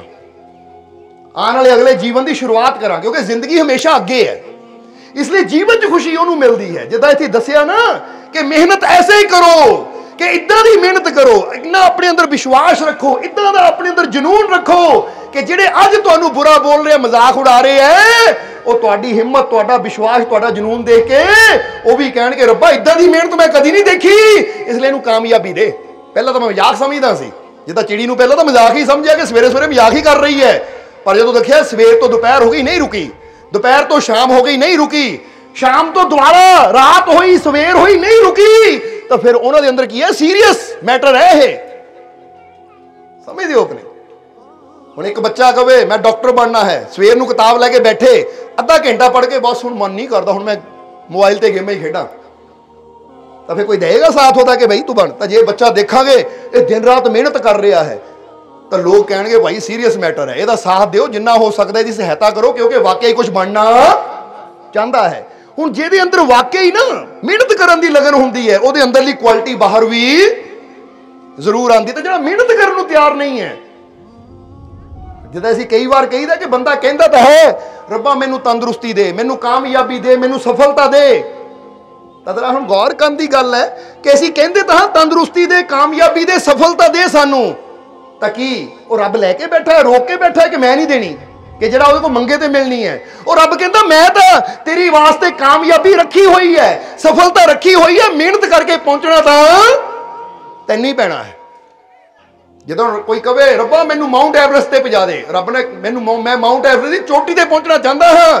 ਤਾਂ ਰੱਬ ਨੇ ਕਹਿਣਾ, ਮੈਂ ਮਾਊਂਟ ਐਵਰੈਸਟ ਦੀ ਚੋਟੀ ਵੀ ਰੱਖੀ ਹੈ, ਤੈਨੂੰ ਵੀ ਰੱਖਿਆ ਹੈ। ਹੁਣ ਬਸ ਜਿਹੜੀ ਦੂਰੀ ਹੈ ਨਾ ਇਹਨਾਂ ਦੋਨਾਂ ਦੇ ਦਰਮਿਆਨ, ਉਹ ਸਾਹਸ, ਵਿਸ਼ਵਾਸ, ਮਿਹਨਤ ਨਾਲ ਪੂਰੀ ਤੈਨੂੰ ਕਰਨੀ ਪੈਣੀ ਹੈ। ਬਾਕੀ ਹਾਂ, ਤੇਰੀ ਹਿਫਾਜ਼ਤ ਕਰਨ ਵਾਸਤੇ ਮੈਂ ਤੇਰੇ ਨਾਲ ਜਿੱਦਾਂ ਕੋਈ ਬੱਚਾ ਕਵੇ, ਡੈਡੀ, ਮੈਂ ਮੋਟਰਸਾਈਕਲ ਸਿੱਖਣਾ ਹੈ। ਤਾਂ ਡੈਡੀ ਇਹ ਨਹੀਂ ਕਹਿੰਦਾ, ਬਹਿ ਜਾ ਮੇਰੇ ਪਿੱਛੇ, ਮੈਂ ਚਲਾ ਕੇ ਲੈ ਜਾਂਦਾ ਹਾਂ। ਤਾਂ ਫਿਰ ਤੈਨੂੰ ਕਿੱਦਾਂ ਆਣਾ ਹੈ? ਉਹ ਡੈਡੀ ਕਹਿੰਦਾ, ਮਿਹਨਤ ਤੈਨੂੰ ਕਰਨੀ ਪੈਣੀ ਹੈ, ਸਿੱਖਣਾ ਤੈਨੂੰ ਪੈਣਾ ਹੈ। ਪਰ ਮੈਂ ਤੇਰੇ ਪਿੱਛੇ ਬਹਿ ਕੇ ਸਹਾਇਤਾ ਕਰੂੰਗਾ ਕਿ ਤੇਰੇ ਕਿਤੇ ਸੱਟ ਚੋਟ ਨਾ ਲੱਗੇ। ਜਾਂ ਸਾਈਕਲ ਦੀ ਗੱਲ ਕਰ ਲਈਏ ਕਿ ਬੱਚਾ ਸਾਈਕਲ ਚਲਾਉਣਾ ਸਿੱਖਦਾ ਹੈ, ਤਾਂ ਬਾਪ ਮਗਰੋਂ ਪਕੜ ਕੇ ਰੱਖਦਾ ਕਿ ਨਹੀਂ? ਤਾਂ ਜੇ ਬੱਚਾ ਕਹੇ, ਡੈਡੀ, ਮੈਂ ਸਾਈਕਲ ਮੋ- ਚਲਾਉਣਾ ਸਿੱਖਣਾ ਹੈ, ਪਰ ਮੈਨੂੰ ਸੱਟ ਤੋਂ ਡਰ ਲੱਗਦਾ, ਤੂੰ ਹੀ ਚਲਾ ਦੇ। ਤਾਂ ਫਿਰ ਡੈਡੀ ਕਹੇ, ਬਹਿ ਜਾ ਮਗਰ ਫਿਰ। ਫਿਰ ਤਾਂ ਸਾਰੀ ਜ਼ਿੰਦਗੀ ਡੈਡੀ ਚਲਾਏਗਾ, ਬੱਚਾ ਤਾਂ ਅਪਾਹਜ ਨਕਮਾ ਹੀ ਰਹਿ ਜਾਏਗਾ, ਉਹ ਚਲਾ ਹੀ ਨਹੀਂ ਪਾਏਗਾ। ਪਰ ਜੇ ਬੱਚੇ ਨੇ ਸਿੱਖਣਾ ਹੈ ਤਾਂ ਕਰਮ ਵੀ ਬੱਚੇ ਨੂੰ ਕਰਨਾ ਪੈਣਾ। ਮਿਹਨਤ ਵੀ ਉਹਨੂੰ ਕਰਨੀ ਪੈਣੀ। ਹਾਂ, ਇਹ ਵਿਸ਼ਵਾਸ ਰੱਖਣਾ ਪੈਣਾ ਹੈ ਕਿ ਮੈਨੂੰ ਸੰਭਾਲਣ ਵਾਲਾ ਮੇਰਾ ਮਾਲਿਕ ਮੇਰੇ ਜੇ ਮੈਨੂੰ ਉੱਤੇ ਵਿਸ਼ਵਾਸ ਹੈ ਤਾਂ ਮੈਨੂੰ ਗਿਰਨ ਨਹੀਂ ਦਿੰਦਾ। ਉਹ ਮੇਰੀ ਹਰ ਜਗ੍ਹਾ ਹਿਫਾਜ਼ਤ ਕਰੇਗਾ, ਹਰ ਜਗ੍ਹਾ ਮੇਰੀ ਸੁਰੱਖਿਆ ਕਰੇਗਾ। ਪਰ ਗੱਲ ਤਾਂ ਵਿਸ਼ਵਾਸ ਦੀ ਹੈ ਨਾ। ਜਿਹਦਾ ਇੱਥੇ ਰਮਾਇਣ ਦੀ ਇੱਕ ਘਟਨਾ ਦੱਸਣਾ ਚਾਹਾਂਗੇ ਤੁਹਾਨੂੰ। ਕਿ ਦੇ ਵਿੱਚ ਤੁਹਾਨੂੰ ਸਾਰਿਆਂ ਨੂੰ ਪਤਾ ਹੈ ਕਿ ਜਦੋਂ ਸੀਤਾ ਦਾ ਹਰਨ ਹੋ ਗਿਆ ਤਾਂ ਰਾਮ ਸੀਤਾ ਦੀ ਤਲਾਸ਼ ਵਿੱਚ ਬਣ ਬਣ ਘੁੰਮ ਰਹੇ ਹੈ। ਤਾਂ ਫਿਰ ਕਿਹਦੇ ਨਾਲ ਮੁਲਾਕਾਤ ਹੋਈ ਉਹਨਾਂ ਦੀ? ਕਹਿੰਦੇ ਪਹੁੰਚੇ ਸੁਗਰੀਵ ਦੇ ਰਾਜ 'ਚ। ਹਾਲਾਂਕਿ ਉਸ ਵੇਲੇ ਵਾਲੀ ਦਾ ਰਾਜ ਸੀ ਉੱਥੇ। ਸੁਗਰੀਵ ਲੋਕੇ ਰਹਿ ਰਿਹਾ ਸੀ ਜੰਗਲਾਂ 'ਚ। ਔਰ ਹਨੂਮਾਨ ਨੂੰ ਭੇਜਿਆ ਕਿ ਜਾ ਵੀ ਇਹ ਦੋ ਰਾਜਕੁਮਾਰ ਹੈ। ਕੋਈ ਸੰਨਿਆਸੀ ਹੈ, ਕਿਤੇ ਦੇਖੀ ਬਾਲੀ ਦੇ ਗੁਪਤਚਰ ਤਾਂ ਨਹੀਂ। ਤਾਂ ਹਨੂਮਾਨ ਜਦੋਂ ਗਿਆ ਗੱਲਬਾਤ ਹੋਈ ਤਾਂ ਫਿਰ ਹਨੂਮਾਨ ਨੂੰ ਪਤਾ ਲੱਗਾ ਕਿ ਅਯੋਧਿਆ ਦੇ ਰਾਜਕੁਮਾਰ ਹੈ ਸ਼੍ਰੀ ਰਾਮ। ਤਾਂ ਫਿਰ ਕਹਿੰਦੇ ਹਨੂਮਾਨ ਨੇ ਆਪਣਾ ਅਸਲੀ ਰੂਪ ਦਿਖਾਇਆ। ਔਰ ਇੱਕ ਕੰਧੇ ਤੇ ਰਾਮ ਨੂੰ ਬਿਠਾਇਆ, ਦੂਜੇ ਕੰਧੇ ਤੇ ਲਕਸ਼ਮਣ ਨੂੰ। ਔਰ ਫਿਰ ਲੈ ਕੇ ਸੁਗਰੀਵ ਦੇ ਕੋਲ ਪਹੁੰਚੇ। ਹੁਣ ਇੱਥੇ ਤਸਵੀਰ ਦੇਖੀ ਹੈ ਨਾ ਤੁਸੀਂ ਹਨੂਮਾਨ ਦੀ? ਇੱਕ ਕੰਧੇ ਤੇ ਰਾਮ ਹੈ ਔਰ ਦੂਜੇ ਕੰਧੇ ਤੇ ਲਕਸ਼ਮਣ। ਇਹਦਾ ਮਤਲਬ ਕੀ ਹੈ? ਕਿ ਇਨਸਾਨ ਦੇ ਜੀਵਨ 'ਚ ਵੀ ਅਸੀਂ ਕਿਸੇ ਮੰਜ਼ਿਲ ਤੱਕ ਪਹੁੰਚਣਾ ਹੈ ਨਾ? ਤਾਂ ਪਹਿਲੀ ਗੱਲ, ਸਾਨੂੰ ਵੀ ਆਪਣੇ ਜੀਵਨ ਨੂੰ ਐਸਾ ਬਣਾਉਣਾ ਚਾਹੀਦਾ ਕਿ ਇੱਕ ਸਾਡਾ ਵਿਸ਼ਵਾਸ ਆਪਣੇ ਰਾਮ ਤੇ ਪ੍ਰਮਾਤਮਾ ਪ੍ਰਭੂ ਤੇ ਹੋਣਾ ਚਾਹੀਦਾ ਹੈ। ਇੱਕ ਤਰ੍ਹਾਂ ਮੇਰੇ ਰਾਮ ਦਾ ਵਿਸ਼ਵਾਸ, ਪ੍ਰਭੂ ਦਾ ਵਿਸ਼ਵਾਸ ਹੈ, ਤਾਂ ਦੂਜੀ ਨਜ਼ਰ ਸਾਡੀ ਲਕਸ਼ਮਣ ਯਾਨੀ ਲਕਸ਼ ਤੇ ਹੋਣੀ ਚਾਹੀਦੀ ਹੈ ਕਿ ਉਹ ਲਕਸ਼ ਨੂੰ ਮੈਂ ਪਾ ਕੇ ਰਹਿਣਾ ਹੈ ਔਰ ਮੈਨੂੰ ਲਕਸ਼ ਮੰਜ਼ਿਲ ਜ਼ਰੂਰ ਮਿਲੇਗੀ ਕਿਉਂਕਿ ਮੈਨੂੰ ਕਾਮਯਾਬੀ ਦੇਣ ਵਾਲਾ ਮੇਰਾ ਮਾਲਿਕ, ਮੇਰਾ ਰਾਮ ਮੇਰੇ ਨਾਲ। ਹੁਣ ਇਹ ਇੱਕ ਇਸ਼ਾਰਾ ਹੈ। ਕਿਉਂਕਿ ਕੁਝ ਇਸ਼ਾਰੇ ਹੁੰਦੇ ਆ ਕਥਾਵਾਂ ਦੇ ਅੰਦਰ ਜਿਨ੍ਹਾਂ ਨੂੰ ਅਸੀਂ ਸਮਝਣਾ ਹੈ। ਪਰ ਅੱਜ ਇਨਸਾਨ ਕਹਿੰਦਾ, ਪ੍ਰਭੂ, ਮੇਰੇ ਤੇ ਕਿਰਪਾ ਕਰ, ਮੈਨੂੰ ਇਹ ਦਾਤ ਮਿਲੇ ਚੀਜ਼ ਮਿਲੇ। ਜਾਂ ਮੈਂ ਇੱਥੇ ਜਾਣਾ ਚਾਹੁੰਦਾ, ਪਰ ਮੰਜ਼ਿਲ ਦਾ ਮੈਨੂੰ ਪਤਾ ਨਹੀਂ ਮੈਂ ਜਾਣਾ। ਜੇ ਲਕਸ਼ ਹੀ ਨਾ ਹੋਵੇ ਤਾਂ ਪਹੁੰਚਾਂਗੇ ਕਿਦਾਂ? ਜਰਾ ਸੋਚ ਕੇ ਦੇਖਣਾ ਸਾਰਿਆਂ ਨੇ। ਇਸ ਕਰਕੇ ਕਾਮਯਾਬੀ ਲੈਣ ਵਾਸਤੇ ਸਾਨੂੰ ਆਪਣੇ ਰੱਬ ਤੇ ਭਰੋਸਾ ਵੀ ਹੋਣਾ ਚਾਹੀਦਾ, ਤਾਂ ਸਾਡਾ ਲਕਸ਼ ਵੀ ਸਪਸ਼ਟ ਹੋਣਾ ਚਾਹੀਦਾ ਕਿ ਮੈਂ ਹਾਸਲ ਕੀ ਕਰਨਾ ਚਾਹੁੰਦਾ, ਮੈਂ ਪਹੁੰਚਣਾ ਕਿੱਥੇ ਚਾਹੁੰਦਾ ਹਾਂ। ਤਾਂ ਫਿਰ ਇਨਸਾਨ ਨੂੰ ਪ੍ਰਮਾਤਮਾ ਦੀ ਰਹਿਮਤ ਲੈ ਕੇ ਵੀ ਜ਼ਰੂਰ ਜਾਂਦੀ ਹੈ। ਫਿਰ ਆ ਜਾਈਏ ਜਦੋਂ ਸੁਗਰੀਵ ਨਾਲ ਮੁਲਾਕਾਤ ਹੋਈ ਇੱਥੇ ਥੋੜਾ ਜਿਹਾ ਇਹਨੂੰ ਸਮਝਣਾ ਕਿ ਜਦੋਂ ਸੁਗਰੀਵ ਨਾਲ ਮੁਲਾਕਾਤ ਹੋਈ, ਤਾਂ ਸਾਰੀ ਸੁਗਰੀਵ ਨੇ ਆਪਣੀ ਕਹਾਣੀ ਦੱਸੀ ਕਿ ਇਸ ਤਰ੍ਹਾਂ ਮੇਰੇ ਭਰਾ ਬਾਲੀ ਨੇ ਮੇਰਾ ਰਾਜ ਵੀ ਹੜਪ ਲਿਆ, ਮੇਰਾ ਹੱਕ ਹੜਪ ਲਿਆ ਔਰ ਮੈਨੂੰ ਮਹਿਲ ਤੋਂ ਬਾਹਰ ਕੱਢ ਦਿੱਤਾ ਔਰ ਮੈਂ ਦਰ-ਦਰ ਧੱਕੇ ਖਾ ਰਿਹਾ ਹਾਂ। ਔਰ ਮੈਂ ਕਈ ਵਾਰ ਉਹਨਾਂ ਯੁੱਧ ਕਰਨ ਦੀ ਕੋਸ਼ਿਸ਼ ਕੀਤੀ, ਪਰ ਮੇਰੀ ਹਰ ਵਾਰ ਹਾਰ ਹੋਈ ਕਿਉਂਕਿ ਬਾਲੀ ਨੂੰ ਵਰਦਾਨ ਹੈ ਕਿ ਜਿਹੜਾ ਉਹਦੇ ਸਾਹਮਣੇ ਆਏਗਾ, ਉਹਦੀ ਅੱਧੀ ਸ਼ਕਤੀ ਉਹਦੇ ਅੰਦਰ ਚਲੀ ਜਾਏਗੀ, ਇਸ ਲਈ ਉਹਨੂੰ ਕੋਈ ਹਰਾ ਨਹੀਂ ਸਕਦਾ। ਉਸ ਲਈ ਰਾਮ ਨੇ ਕਿਹਾ, ਫਿਕਰ ਨਾ ਕਰ ਸੁਗਰੀਵ, ਹੁਣ ਮੈਂ ਤੇਰੇ ਨਾਲ ਹਾਂ। ਹੁਣ ਦੇਖੋ, ਇੱਥੇ ਵੀ ਇਹ ਗੱਲ ਸਮਝਣੀ ਹੈ ਕਿ ਅੱਗੇ ਇੱਧਰ ਸੁਗਰੀਵ, ਜਿਹੜਾ ਕਮਜ਼ੋਰ ਹੈ, ਉੱਧਰ ਬਾਲੀ ਜੋ ਤਾਕਤਵਰ ਹੈ। ਪਰ ਹੁਣ ਰਾਮ ਨੇ ਜਦੋਂ ਕਿਹਾ ਕਿ ਸੁਗਰੀਵ, ਬੇਸ਼ੱਕ ਬਾਲੀ ਜਿੰਨਾ ਮਰਜ਼ੀ ਬਲਸ਼ਾਲੀ ਹੈ ਪਰ ਡਰਨ ਦੀ ਲੋੜ ਨਹੀਂ ਹੈ। ਕਿਉਂਕਿ ਹੁਣ ਮੈਂ, ਕੀ ਕਿਹਾ, ਤੇਰੇ ਨਾਲ ਆ, ਤੂੰ ਚੱਲ ਯੁੱਧ ਵਾਸਤੇ ਲਲਕਾਰ। ਯੁੱਧ ਵਾਸਤੇ ਲਲਕਾਰ ਉਹਨੂੰ ਕਹਿੰਦਾ, ਜੀ, ਉਹ ਬਲਸ਼ਾਲੀ ਮੈਨੂੰ ਮਾਰ ਦੇਗਾ। ਉਹ ਕਹਿੰਦਾ, ਫਿਕਰ ਨਾ ਕਰ, ਤੂੰ ਲਲਕਾਰ ਉਹਨੂੰ ਜਾ ਕੇ। ਵਿਸ਼ਵਾਸ ਕਰ। ਵਿਸ਼ਵਾਸ ਹੈ ਤਾਂ ਜਾ, ਲਲਕਾਰਾ ਮਾਰ, ਮੈਂ ਤੇਰੇ ਨਾਲ ਆ। ਕਹਿੰਦੇ, ਰਾਮ ਦੀ ਗੱਲ ਨੂੰ ਮੰਨ ਕੇ। ਜਦੋਂ ਸੁਗਰੀਵ ਗਿਆ, ਕਿਉਂਕਿ ਰਾਮ ਨੇ ਕਿਹਾ ਸੀ, ਮੈਂ ਪੇੜ ਦੇ ਪਿੱਛੇ ਖੜ ਕੇ ਵਾਰ ਕਰੂੰਗਾ ਉਸ ਤੇ। ਬਸ, ਤੂੰ ਲਲਕਾਰ ਕੇ ਉਹਨੂੰ ਬਾਹਰ ਲਿਆ, ਮੈਦਾਨ 'ਚ ਲਿਆ ਉਹਨੂੰ। ਤਾਂ ਸੁਗਰੀਵ ਨੇ ਜਦੋਂ ਲਲਕਾਰਿਆ ਮੈਦਾਨ 'ਚ ਲਿਆਂਦਾ, ਤਾਂ ਇਹਨਾਂ ਦੀ ਸ਼ਕਲ ਇੰਨੀ ਮਿਲਦੀ ਸੀ ਕਿ ਰਾਮ ਸਮਝ ਹੀ ਨਹੀਂ ਪਾਏ ਕਿ ਸੁਗਰੀਵ ਕੌਣ ਹੈ ਤਾਂ ਬਾਲੀ ਕੌਣ ਹੈ ਤੀਰ ਮਾਰਾਂ ਕਿਹਦੇ ਔਰ ਇੱਧਰ ਬਾਲੀ, ਜਦੋਂ ਸੁਗਰੀਵ ਨਾਲ ਲੜ ਰਿਹਾ ਸੀ ਤਾਂ ਲੜਦਿਆਂ ਲੜਦਿਆਂ ਸੁਗਰੀਵ ਦਾ ਬੁਰਾ ਹਾਲ ਕਰ ਦਿੱਤਾ, ਕਿਉਂਕਿ ਸੁਗਰੀਵ ਉਹਦੇ ਸਾਹਮਣੇ ਕਮਜ਼ੋਰ ਸੀ ਜਿਹਦਾ ਬੱਚਾ, ਔਰ ਉਹ ਅੱਗੇ ਪਹਿਲਵਾਨ, ਤਾਕਤ ਉਹਦੇ ਅੰਦਰ ਵਰਦਾਨ ਸੀ ਕਿ ਅਗਲੇ ਦੀ ਸ਼ਕਤੀ ਮਿਲ ਜਾਂਦੀ ਸੀ ਉਹਨੂੰ। ਇਸ ਕਰਕੇ ਬੜਾ ਬੁਰਾ ਹਾਲ ਕੀਤਾ ਸੁਗਰੀਵ ਦਾ ਸੁਗਰੀਵ ਕਹੀ ਜਾਵੇ, ਰਾਮ ਕਿੱਥੇ ਹੈ? ਤੀਰ ਕਿਉਂ ਨਹੀਂ ਮਾਰਦੇ? ਮੇਰੀ ਸਹਾਇਤਾ ਕਿਉਂ ਨਹੀਂ ਕਰਦੇ? ਮੈਂ ਮਰ ਗਿਆ। ਫਿਰ ਜਦੋਂ ਦੇਖਿਆ ਉਹ ਆਈ ਨਹੀਂ ਰਿਹਾ ਤੀਰ ਤਾਂ ਸੁਗਰੀਵ ਜਾਨ ਵਜਾ ਕੇ ਦੌੜਿਆ। ਚੰਗੀ ਮਾਰ ਪਈ ਪਰ ਦੌੜਿਆ। ਜਦੋਂ ਦੌੜ ਕੇ ਗੁਫਾ 'ਚ ਲੁਕਿਆ, ਤਾਂ ਉਸ ਵੇਲੇ ਰਾਮ ਉਹਦੇ ਕੋਲ ਪਹੁੰਚੇ। ਤਾਂ ਸੁਗਰੀਵ ਨੇ ਕਿਹਾ, ਮਹਾਰਾਜ, ਤੁਸੀਂ ਚੰਗਾ ਨਹੀਂ ਕੀਤਾ। ਮੈਂ ਦੇਖੋ ਕਿੰਨੀ ਮਾਰ ਖਾਧੀ, ਤੁਹਾਡੇ ਤੇ ਵਿਸ਼ਵਾਸ ਕਰਕੇ। ਤਾਂ ਰਾਮ ਕਹਿੰਦੇ, ਭਾਈ, ਮੈਂ ਤਾਂ ਸਹਾਇਤਾ ਵਾਸਤੇ ਤਿਆਰ ਸੀ। ਪਰ ਕਨਫਿਊਜ਼ਨ ਇਹ ਸੀ ਕਿ ਤੇਰੀ ਔਰ ਬਾਲੀ ਦੀ ਸ਼ਕਲ ਇੰਨੀ ਮਿਲਦੀ ਸੀ ਕਿ ਮੈਂ ਪਹਿਚਾਨ ਹੀ ਨਹੀਂ ਪਾਇਆ ਕਿ ਤੀਰ ਚਲਾਣਾ ਕਿੱਥੇ ਜੇ ਮਾਰ ਦਿੰਦਾ, ਤੇਰੇ ਲੱਗ ਜਾਂਦਾ ਫਿਰ। ਹੁਣ ਸਮਝਣਾ ਜ਼ਰਾ ਸਾਰਿਆਂ ਨੇ। ਉਹਨਾਂ ਨੇ ਕਿਹਾ, ਇੱਕ ਵਾਰ ਫਿਰ, ਇੱਕ ਵਾਰ ਫਿਰ ਤੂੰ ਜਾਣਾ ਹੈ। ਔਰ ਲਲਕਾਰਨਾ ਉਸ ਨੂੰ ਦੁਬਾਰਾ ਕੁਝ ਦਿਨਾਂ ਬਾਅਦ, ਜਦੋਂ ਤੇਰੀ ਹਾਲਤ ਥੋੜੀ ਠੀਕ ਹੁੰਦੀ ਹੈ। ਜਾਣਾ ਹੈ, ਉਹ ਕਹਿੰਦਾ, ਮਾਰੇ, ਫਿਰ ਫਿਰ ਕੀ ਹੋਏਗਾ? ਉਹ ਕਹਿੰਦੇ, ਲੈ, ਅਸੀਂ ਤੇਰੇ ਗਲ 'ਚ ਇੱਕ ਹਾਰ ਪਾਵਾਂਗੇ। ਕੀ ਪਾਵਾਂਗੇ? ਹਾਰ। ਜਦੋਂ ਹਾਰ ਤੇਰੇ ਗਲ 'ਚ ਹੋਏਗਾ ਤਾਂ ਪਹਿਚਾਣ ਲਵਾਂਗੇ ਕਿ ਇਹ ਸਾਡਾ ਸੁਗਰੀਵ ਹੈ, ਤਾਂ ਵਾਰ ਉੱਤੇ ਕਰਨਾ ਹੈ। ਕਹਿੰਦੇ ਫਿਰ ਉਹਦਾ ਅੰਤ ਹੋਏਗਾ। ਔਰ ਵਾਕਈ ਕੁਝ ਦਿਨਾਂ ਬਾਅਦ ਜਦੋਂ ਫਿਰ ਲਲਕਾਰਿਆ, ਵਾਲੀ ਆਇਆ, ਔਰ ਜਦੋਂ ਹਰ ਗੱਲ 'ਚ ਰ- ਸੁਗਰੀਵ ਦੇ ਪਾਇਆ, ਔਰ ਜੰਗ ਵਾਸਤੇ ਗਿਆ, ਤਾਂ ਰਾਮ ਨੇ ਪਿੱਛੋਂ ਨਿਸ਼ਾਨਾ ਖਿੱਚ ਕੇ ਤੀਰ ਮਾਰਿਆ ਔਰ ਵਾਲੀ ਦਾ ਅੰਤ ਹੋ ਗਿਆ। ਪਰ ਇੱਥੇ ਸਮਝਣਾ ਕਹਾਣੀ ਤੁਹਾਨੂੰ ਕਿਉਂ ਦੱਸ ਰਹੇ ਹਾਂ ਅਸੀਂ? ਕਿਉਂਕਿ ਇਹਦੇ ਪਿਛਲੇ ਰਾਜ ਨੂੰ ਥੋੜਾ ਸਮਝਣਾ ਹੈ ਕਿ ਇੱਥੇ ਗੱਲ ਹੈ ਵਿਸ਼ਵਾਸ ਦੀ। ਕਾਦੀ? ਵਿਸ਼ਵਾਸ ਦੀ ਗੱਲ ਹੈ, ਸਮਰਪਣ ਦੀ। ਕਿਉਂਕਿ ਸੁਗਰੀਵ ਨੂੰ ਪਤਾ ਸੀ, ਬਾਲੀ ਬਹੁਤ ਜ਼ਿਆਦਾ ਸ਼ਕਤੀਸ਼ਾਲੀ ਹੈ, ਪਰ ਫਿਰ ਵੀ ਲੜਨ ਗਿਆ, ਕਿਹਦੇ ਭਰੋਸੇ? ਰਾਮ ਦੇ ਭਰੋਸੇ ਕਿ ਮੈਂ ਇਕੱਲਾ ਨਹੀਂ ਆ, ਕਿਉਂਕਿ ਮੇਰੀ ਸਹਾਇਤਾ ਕਰਨ ਵਾਲਾ ਮੇਰਾ ਰਾਮ, ਮੇਰਾ ਮਾਲਿਕ ਮੇਰੇ। ਹੁਣ ਇਹ ਗੱਲ ਸਮਝਣੀ ਕਿ ਇਨਸਾਨ ਦੇ ਸਾਹਮਣੇ ਪ੍ਰੋਬਲਮ ਜਿੱਡੀ ਮਰਜ਼ੀ ਬੜੀ ਹੋਵੇ, ਪਰੇਸ਼ਾਨੀ ਜਿੱਡੀ ਮਰਜ਼ੀ ਬੜੀ ਹੋਵੇ, ਉਹ ਕੱਲਾ ਨਹੀਂ ਉਹਨਾਂ ਪਰੇਸ਼ਾਨੀਆਂ ਨਾਲ ਲੜ ਸਕਦਾ। ਕਿਉਂਕਿ ਕੱਲਾ ਪਹਿਲਾਂ ਤਾਂ ਖੜੇ ਹੋਣ ਦੀ ਹਿੰਮਤ ਹੀ ਨਹੀਂ ਹੋਏਗੀ ਕਿ ਮੈਂ ਪਰੇਸ਼ਾਨੀ ਸਾਹਮਣੇ ਖੜਾ ਹੋਵਾਂ।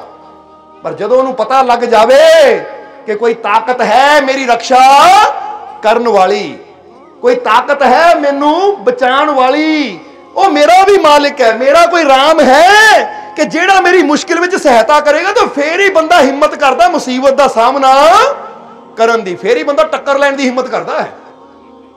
ਸਮਝਦੇ ਹੋ ਕਿ ਨਹੀਂ? ਹੁਣ ਇੱਕ ਗੱਲ ਦਾ ਜਵਾਬ ਦੇਣਾ ਸਾਨੂੰ। ਤੇ ਆਪ ਹੀ ਬੰਦਾ ਸੋਚ ਕੇ ਦੇਖੇ ਕਿ ਜੇ ਬੰਦੇ ਨੂੰ ਕਿਸੇ ਨੂੰ ਕਿਹਾ ਜਾਵੇ ਨਾ ਕਿ ਜਾ ਵੀ ਫਲਾਣੇ ਥਾਣੇਦਾਰ ਨੂੰ ਗਾਲੀ ਕੱਢ ਦੇ ਕੱਢ ਦੇਗਾ ਬੰਦਾ। ਤਾਂ ਜੇ ਪਤਾ ਹੋਵੇ ਉਹਨੂੰ ਕਿ ਪਿੱਛੇ ਐਮਐਲਏ ਮੇਰਾ ਚਾਚਾ ਹੈ, ਮੇਰਾ ਮਾਮਾ ਹੈ, ਮੇਰਾ ਤਾਇਆ ਜਾਂ ਮੇਰਾ ਰਿਸ਼ਤੇਦਾਰ ਹੈ, ਤਾਂ ਫਿਰ ਬੰਦੇ ਨਾ ਥਾਣੇਦਾਰ ਨੂੰ ਮੈਂ ਕੀ ਸਮਝਦਾ? ਮੈਂ ਤਾਂ ਐਸਐਸਪੀ ਨੂੰ ਦਬਕਾ ਮਾਰ ਦੂੰ। ਕਿਉਂਕਿ ਪਤਾ ਪਿੱਛੇ ਕੋਈ ਤਾਕਤ ਹੈ। ਇਹ ਉਹਦੇ ਦਮ ਤੇ ਹੀ ਬੰਦਾ ਸਾਹਮਣੇ ਕਿਸੇ ਤਾਕਤ ਨਾਲ ਮੁਕਾਬਲਾ ਕਰਨ ਨੂੰ ਤਿਆਰ ਹੁੰਦਾ ਹੈ। ਹੁਣ ਇੱਥੇ ਵੀ ਇਦਾਂ ਹੀ ਹੈ। ਅੱਜ ਇਸ ਸਾਖੀ ਤੋਂ ਅਸੀਂ ਵੀ ਸਮਝਣਾ ਹੈ ਕਿ ਅਗਰ ਤੁਹਾਡੇ ਜੀਵਨ 'ਚ ਵੀ ਕੋਈ ਮੁਸੀਬਤ ਆਵੇ ਨਾ, ਤਾਂ ਫਿਰ ਆਪਣਾ ਲਿੰਕ, ਆਪਣਾ ਤਾਲੁਕ ਆਪਣੇ ਮਾਲਿਕ ਨਾਲ ਜੋੜ ਕੇ ਰੱਖੋ। ਆਪਣੇ ਮਾਲਿਕ ਨਾਲ ਯਾਰੀ ਲਾ ਕੇ ਰੱਖੋ ਤਾਂ ਕਿ ਕੱਲ ਨੂੰ ਕੋਈ ਮੁਸੀਬਤਾਂ ਰੂਪੀ ਬਾਲੀ ਸਾਹਮਣੇ ਆਵੇ ਵੀ ਤੇ ਅਸੀਂ ਡਰੀਏ ਨਾ, ਬਲਕਿ ਲਲਕਾਰਾ ਮਾਰੀਏ, ਓਏ ਬਾਲੀ, ਓਏ ਦੁੱਖਾਂ ਦੇ ਬਾਲੀ ਆ ਸਾਹਮਣੇ ਕੱਲ ਮੁਕਾਬਲਾ। ਕਿਉਂਕਿ ਮੇਰੀ ਸਹਾਇਤਾ ਕਰਨ ਵਾਲਾ ਮੇਰਾ ਮਾਲਿਕ ਮੇਰੇ, ਮੈਨੂੰ ਕਾਮਯਾਬੀ ਦੇਣ ਵਾਲਾ ਮੇਰਾ ਮਾਲਿਕ ਮੇਰੇ, ਮੈਨੂੰ ਸਫਲਤਾ ਦੇਣ ਵਾਲਾ ਮੇਰਾ ਮਾਲਿਕ ਮੇਰੇ। ਇਹਨੂੰ ਕਹਿੰਦੇ ਨਿਡਰਤਾ ਨਾਲ ਜ਼ਿੰਦਗੀ ਜੀਣੀ ਪਰ ਅੱਜ ਇਨਸਾਨ ਨੂੰ ਪਤਾ ਹੈ, ਆਪਣੇ ਰਾਮ, ਆਪਣੇ ਮਾਲਿਕ, ਆਪਣੇ ਪ੍ਰਭੂ ਦੀ ਖਾਤਰ ਤਾਂ ਮੈਂ ਕੁਝ ਕਰਦਾ ਨਹੀਂ। ਨਾ ਕੋਈ ਸੇਵਾ, ਨਾ ਕੋਈ ਸਿਮਰਨ, ਨਾ ਕੋਈ ਦਾਨ ਪੁੰਨ ਨਾ ਕੋਈ ਅਛਾਈ। ਸਾਰਾ ਟਾਈਮ ਤਾਂ ਮੈਂ ਬਸ ਦੁਨੀਆ ਨੂੰ ਦੇਈ ਜਾਂਦਾ ਹਾਂ। ਜਿਹੜਾ ਟਾਈਮ ਉਹਨੂੰ ਯਾਦ ਕਰਨ ਦਾ ਹੁੰਦਾ, ਉਹ ਮੈਂ ਨਿੰਦਿਆ ਚੁਗਲੀ ਵਿੱਚ, ਦੂਜਿਆਂ ਦੀਆਂ ਗੱਲਾਂ ਕਰਨ ਵਿੱਚ, ਜਾਂ ਟੀਵੀ ਦੇਖਣ ਜਾਂ ਹੋਰ ਕੰਮਾਂ 'ਚ ਹੀ ਗਵਾ ਦਿੰਦਾ ਹਾਂ। ਉਹ ਮੇਰੀ ਯਾਰੀ ਇਹ ਰਾਮ ਨਾਲ, ਪ੍ਰਮਾਤਮਾ ਨਾਲ ਨਹੀਂ ਹੈ। ਤਾਂ ਉਹਨੇ ਸਹਾਇਤਾ ਮੇਰੀ ਕਿੱਦਾਂ ਕਰਨੀ ਹੈ? ਤਾਂ ਜੇ ਮੈਨੂੰ ਪਤਾ ਹੈ ਮੈਂ ਉਹਦੇ ਨਾਲ ਯਾਰੀ ਲਾਈ ਹੈ, ਆਪਣੇ ਵਿਸ਼ਵਾਸ ਦੀ ਤਾਰ ਉਹਦੇ ਨਾਲ ਜੋੜੀ ਹੈ, ਤਾਂ ਫਿਰ ਮੈਨੂੰ ਕਿਸੇ ਮੁਸੀਬਤ ਤੋਂ ਡਰਨ ਦੀ ਲੋੜ ਨਹੀਂ, ਕਿਉਂਕਿ ਮੇਰੀ ਸਹਾਇਤਾ ਕਰਨ ਵਾਲਾ ਮੈਨੂੰ ਪਤਾ ਫਿਰ ਮੇਰੇ ਨਾਲ ਹੈ, ਉਹ ਮੇਰੀ ਹਾਰ ਨਹੀਂ ਕਦੀ ਹੋਣ ਦੇਗਾ। ਬੇਸ਼ੱਕ ਮੈਂ ਕਮਜ਼ੋਰ ਹਾਂ। ਬੇਸ਼ੱਕ ਮੈਂ ਕਮਜ਼ੋਰ ਹਾਂ। ਪਰ ਜਿਹੜਾ ਮੇਰੇ ਪਿੱਛੇ ਖੜਾ ਹੈ ਨਾ, ਉਹ ਕਮਜ਼ੋਰ ਨਹੀਂ ਹੈ। ਉਹ ਬੜੀ ਤੋਂ ਬੜੀ ਮੁਸੀਬਤ ਨੂੰ ਐਦਾਂ ਹੱਲ ਕਰ ਸਕਦਾ ਹੈ। ਹੁਣ ਬਾਲੀ ਨੂੰ ਯਕੀਨ ਆਪਣੇ ਸੁਗਰੀਵ ਨੂੰ ਯਕੀਨ ਸੀ। ਬਾਲੀ ਬੇਸ਼ੱਕ ਬਲ ਬਲਸ਼ਾਲੀ ਸੀ, ਪਰ ਕਿਹਦੇ ਯਕੀਨ ਤੇ ਗਿਆ? ਰਾਮ ਦੇ ਯਕੀਨ ਤੇ। ਔਰ ਇੱਥੇ ਵੀ ਕਹਾਂਗੇ, ਪਹਿਲਾਂ ਦੇਖੋ ਹਾਰ ਹੋਈ। ਪਹਿਲੀ ਵਾਰ ਮਾਰ ਖਾ ਕੇ ਆ ਗਿਆ। ਤਾਂ ਉਸਲੇ ਬਾਲੀ ਦਾ ਵਿਸ਼ਵਾਸ ਨਹੀਂ ਟੁੱਟਾ, ਨਹੀਂ ਤਾਂ ਬਾਲੀ ਕਹਿੰਦਾ, ਮਾਰੇ, ਹੁਣ ਨਹੀਂ ਮੈਂ ਵਿਸ਼ਵਾਸ ਕਰਨਾ ਤੁਹਾਡੇ ਤੇ। ਪਹਿਲੀ ਵਾਰ ਤੁਹਾਡੇ ਕਹਿਣ ਤੇ ਗਿਆ, ਮੈਂ ਮਰਨੋਂ ਬਚਿਆ। ਮੈਂ ਨਹੀਂ ਜਾਂਦਾ ਦੁਬਾਰਾ। ਤਾਂ ਫਿਰ ਬਾਲੀ ਦੀ ਜਿੱਤ ਹੋਣੀ ਸੀ ਆਪਣੇ ਸੁਗਰੀਵ ਦੀ ਜਿੱਤ ਹੋਣੀ ਸੀ ਫਿਰ। ਫਿਰ ਕਿਸ਼ਕਿੰਦਾ ਦਾ ਰਾਜ ਮਿਲਣਾ ਸੀ ਉਹਨੂੰ। ਉਹ ਰਾਜ ਨਹੀਂ ਮਿਲਣਾ ਸੀ, ਅਗਰ ਉਹ ਵਿਸ਼ਵਾਸ ਨਾ ਕਰਦਾ। ਪਰ ਉਹਨਾਂ ਰਾਮ ਦੀ ਗੱਲ ਨੂੰ ਸਮਝਿਆ ਕਿ ਠੀਕ ਹੈ ਭਾਈ, ਪਹਿਲਾਂ ਹਾਰ ਹੋ ਗਈ। ਥੋੜਾ ਜਿਹਾ ਕਨਫਿਊਜ਼ਨ ਸੀ। ਪਰ ਹੁਣ ਹੱਲ ਕਰ ਦਿੱਤੀ। ਹੁਣ ਆ ਪਾਲਾ ਹਾਰ। ਹੁਣ ਇੱਥੇ ਫੇਰ ਕਹਾਂਗੇ ਹਾਰ ਗੱਲ ਚ ਪਾਇਆ। ਤੋ ਹਾਰ ਦਾ ਮਤਲਬ ਕੀ ਸੀ? ਉਹ ਫੁੱਲਾਂ ਦੇ ਹਾਰ ਦੀ ਗੱਲ ਨਹੀਂ ਸੀ। ਉਹ ਹਾਰ ਸੀ ਕਿ ਲਓ ਮਹਾਰਾਜ, ਮੈਂ ਆਪਣੇ ਆਪ ਨੂੰ ਤੁਹਾਡੇ ਤੇ ਹਾਰ ਦਿੱਤਾ। ਸਮਰਪਣ ਕਰ ਦਿੱਤਾ। ਕਹਿੰਦੇ ਮੁਰਸ਼ਿਦ ਅੱਗੇ ਹਾਰ ਜੋ, ਸਤਗੁਰ ਅੱਗੇ ਹਾਰ ਜੋ। ਦੁਨੀਆ ਕੋਲੋਂ ਜਿੱਤਣਾ ਹੈ ਤਾਂ ਗੁਰੂ ਅੱਗੇ ਹਾਰਨਾ। ਪੈਣਾ ਹੀ ਹੈ। ਕਿਉਂਕਿ ਜੇ ਦੁਨੀਆ ਅੱਗੇ ਸਿਰ ਉਠਾ ਕੇ ਚੱਲਣਾ ਹੈ, ਤਾਂ ਗੁਰੂ ਅੱਗੇ ਸਿਰ ਝੁਕਾਣਾ ਤਾਂ ਜਿਹੜਾ ਗੁਰੂ ਅੱਗੇ ਸਿਰ ਉਠਾ ਕੇ ਚੱਲਦਾ, ਫਿਰ ਅਹੰਕਾਰੀ ਹੈ। ਔਰ ਹੰਕਾਰੀਆਂ ਦਾ ਹਾਲ ਤਾਂ ਫਿਰ ਕੀ ਹੁੰਦਾ ਹੈ? ਹੋਏ ਨਾਮ ਵਰ ਵੇ ਨਿਸ਼ਾਨ, ਕੈਸੇ ਕੈਸੇ ਜਮੀ ਖਾ ਗਈ ਨੌਜਵਾਨ। ਫਿਰ ਤਾਂ ਬੜੇ ਬੜੇ ਨਾਮ ਵਰ ਵੀ ਮਿੱਟੀ ਚਲੇ ਗਏ। ਜਿੱਦਾਂ ਦੱਸਿਆ ਨਾ, ਮਿੱਟੀ ਹੈ ਤੇ ਮਿੱਟੀ ਰਹਿਣਾ। ਫਿਰ ਕਾਦੀ ਬੱਲੇ ਬੱਲੇ? ਉਹ ਅੱਜ ਮਿੱਟੀ ਦੇ ਉੱਤੇ ਬੈਠਾ ਕੱਲ ਮਿੱਟੀ ਦੇ ਥੱਲੇ। ਕਾਦੀ ਬੱਲੇ ਬੱਲੇ ਚ ਪਿਆ ਮਿੱਟੀ ਹੈ ਤੂੰ, ਮਿੱਟੀ ਤੋਂ ਪੈਦਾ ਹੋਇਆ, ਮਿੱਟੀ ਦੇ ਮਿਲ ਜਾਣਾ ਹੈ। ਇਹ ਹੰਕਾਰ ਨਹੀਂ ਕਰਨਾ। ਬਲਕਿ ਸਮਝਦਾਰ ਇਨਸਾਨ ਉਸ ਮਾਰਗ ਨੂੰ ਚੁਣਦਾ ਹੈ, ਉਹਦੇ ਨਾਲ ਜੁੜਦਾ ਹੈ, ਜਿਹਦੇ ਨਾਲ ਜੁੜ ਕੇ ਪਤਾ ਮੈਨੂੰ ਜਿੱਤ ਮਿਲਣਾ ਪੱਕਾ ਹੋ ਜਾਂਦਾ ਹੈ। ਮੈਨੂੰ ਕਾਮਯਾਬੀ ਮਿਲਣੀ ਪੱਕੀ ਹੋ ਜਾਂਦੀ ਹੈ। ਤਾਂ ਹੀ ਤਾਂ ਅਰਜੁਨ ਨੂੰ ਪਤਾ ਸੀ ਕਿ ਮੈਂ ਲੱਖਾਂ ਦੀ ਸੈਨਾ ਵੀ ਸ਼੍ਰੀ ਕ੍ਰਿਸ਼ਨ ਦੀ ਲੈ ਲਈ, ਤਾਂ ਉਹ ਸੈਨਾ ਮੈਨੂੰ ਜਿਤਾ ਨਹੀਂ ਸਕਦੀ ਜੋ ਕੱਲੇ ਸ਼੍ਰੀ ਕ੍ਰਿਸ਼ਨ ਨੇ ਕਰ ਦੇਣਾ। ਇਸ ਲਈ ਜਦੋਂ ਕ੍ਰਿਸ਼ਨ ਦਾ ਸਾਥ ਮਿਲਿਆ ਤਾਂ ਅਰਜੁਨ ਨੇ ਕਿਹਾ, ਜੰਗ ਤਾਂ ਮੈਂ ਜਿੱਤ ਲਈ, ਕਿਉਂਕਿ ਮੈਨੂੰ ਸਾਥ ਮਿਲ ਗਿਆ। ਇਸ ਲਈ ਇੱਕ ਇਨਸਾਨ ਦੇ ਅੰਦਰ ਵੀ ਇਹ ਵਿਸ਼ਵਾਸ ਹੋਣਾ ਚਾਹੀਦਾ ਹੈ। ਰਾਮ ਨੇ ਬਾਲੀ ਦੇ ਗਲ 'ਚ ਹਾਰ ਪਾਇਆ। ਹਾਰ ਦਾ ਮਤਲਬ ਸਮਰਪਣ। ਮੈਂ ਜੀ ਹਾਰ ਦਿੱਤਾ ਆਪਣੇ ਆਪ ਨੂੰ। ਸਮਝਦੇ ਹੋ ਕਿ ਨਹੀਂ? ਜਿੱਦਾਂ ਨਿਜ਼ਾਮੁਦੀਨ ਔਲੀਆ ਨੂੰ ਦੇਖ ਕੇ ਅਮੀਰ ਖੁਸਰੋ ਨੇ ਲਿਖਿਆ ਸੀ ਕਿ ਪਿਆਰੀ ਮੈਂ 64 ਖੇਲੂ ਖੇਲੂ ਪਿਆ ਕੇ ਸੰਗ। ਜਰਾ ਗੌਰ ਕਰਨਾ ਕਿ ਜੋ ਜੀਤੀ ਮੋਹੇ ਪਿਆ ਮਿਲेंगे ਹਾਰੀ ਤੋਂ ਪੀ ਕੇ ਸੰਗ। ਉਹ ਕਹਿੰਦੀ, ਮੈਂ ਖੇਲ ਖੇਲਣਾ, ਪਰ ਪੀਆ ਦੇ ਨਾਲ ਖੇਲਣਾ ਹੈ ਔਰ ਫੈਸਲਾ ਇੱਕੋ ਹੀ ਕਰਨਾ ਆ। ਜੇ ਮੈਂ ਜਿੱਤ ਗਿਆ ਤੁਸੀਂ ਮੇਰੇ, ਤਾਂ ਜੇ ਤੁਸੀਂ ਜਿੱਤ ਗਏ, ਮੈਂ ਤੁਹਾਡਾ। ਕਹਿੰਦੇ, ਗੱਲ ਤਾਂ ਫੇ ਉਹੀ ਹੈ ਨਾ, ਚਾਹੇ ਉਹ ਜਿੱਤਣ, ਚਾਹੇ ਮੈਂ ਜਿੱਤਣ, ਫਾਇਦਾ ਤਾਂ ਮੇਰਾ ਹੀ ਹੋਣਾ। ਮੈਂ ਜਿੱਤ ਗਿਆ, ਪੀਆ ਮਿਲेंगे ਹਾਰੀ ਤੋਂ ਪੀ ਕੇ ਸੰਗ। ਕਿ ਹਾਰ ਗਈ ਤਾਂ ਉਹਦੀ ਹੋ ਗਈ। ਇਹਨੂੰ ਕਹਿੰਦੇ ਸਮਰਪਣ। ਕਿ ਜਦੋਂ ਸਮਰਪਣ ਕਰ ਦਿੰਦੇ ਨਾ ਕਿ ਲੈ ਮੈਂ ਤੇਰੇ ਇਸ਼ਕ ਦਾ, ਤੇਰੇ ਵਿਸ਼ਵਾਸ ਦਾ ਹਾਰ ਗਲ ਚ ਪਾ ਲਿਆ, ਹੁਣ ਮੈਂ ਹਾਰ ਦਿੱਤਾ ਆਪਣੇ ਆਪ ਨੂੰ ਤੇਰੇ ਚਰਨਾਂ 'ਚ। ਹੋ ਗਿਆ ਮੈਂ ਤੇਰਾ। ਤਾਂ ਜਦੋਂ ਇਨਸਾਨ ਹਾਰ ਗਲ 'ਚ ਪਾ ਲੈਂਦਾ ਹੈ, ਯਾਨੀ ਸਮਰਪਣ ਕਰ ਦਿੰਦਾ ਹੈ, ਤਾਂ ਫਿਰ ਬਿਸ਼ੱਕ ਰਾਮ ਨਜ਼ਰ ਨਾ ਆਣ, ਪ੍ਰਮਾਤਮਾ ਨਜ਼ਰ ਨਾ ਆਵੇ, ਉਹਦੀ ਰਹਿਮਤ ਦਾ ਤੀਰ ਆਂਦਾ ਔਰ ਇਨਸਾਨ ਦੀਆਂ ਸਾਰੀਆਂ ਮੁਸ਼ਕਲਾਂ ਨੂੰ ਖਤਮ ਕਰਦਾ ਚਲਾ ਜਾਂਦਾ ਹੈ। ਜਰਾ ਸਮਝਣਾ ਸਾਰਿਆਂ ਨੇ, ਕਿਉਂਕਿ ਰਾਮ ਨਜ਼ਰ ਨਹੀਂ ਆ ਰਹੇ ਸੀ ਕਿਸੇ ਨੂੰ ਉਸਲੇ, ਪੇੜ ਦੇ ਪਿੱਛੇ ਲੁਕੇ ਹੋਏ ਸੀ। ਪਰ ਸੁਗਰੀਵ ਬਾਲੀ ਨਾਲ ਲੜ ਰਿਹਾ ਸੀ, ਤੀਰ ਆਇਆ ਔਰ ਆਗੇ ਬਾਲੀ ਰੂਪੀ ਸ਼ਤਰੂ ਨੂੰ ਖਤਮ ਕਰ ਗਿਆ। ਇਦਾਂ ਤੁਹਾਡੇ ਜੀਵਨ 'ਚ ਕੋਈ ਮੁਸ਼ਕਿਲ ਆਵੇ, ਕੋਈ ਪਰੇਸ਼ਾਨੀ ਆਵੇ, ਬਸ ਆਪਣੇ ਮਾਲਿਕ ਨੂੰ ਸਮਰਪਣ ਕਰੋ ਕਿ ਇਹ ਮਾਲਿਕ ਮੇਰਾ ਮੁਝ ਮੇ ਕੁਛ ਨਹੀਂ, ਜੋ ਕੁਛ ਹੈ ਸੋ ਤੇਰਾ, ਮੈਂ ਤੇਰਾ ਆ ਔਰ ਹਰ ਜਗ੍ਹਾ ਮੇਰੀ ਰੱਖਿਆ ਵੀ ਤੂੰ ਹੀ ਕਰਨੀ ਹੈ। ਮੈਨੂੰ ਕਾਮਯਾਬੀ ਵੀ ਤੂੰ ਹੀ ਦੇਣੀ ਹੈ। ਜਦੋਂ ਇਹ ਵਿਸ਼ਵਾਸ ਨਾਲ ਇਨਸਾਨ ਚੱਲਦਾ ਹੈ, ਤਾਂ ਫਿਰ ਉਹ ਵਿਸ਼ਵਾਸ ਇਨਸਾਨ ਦਾ ਕੀ ਕਰਦਾ ਹੈ?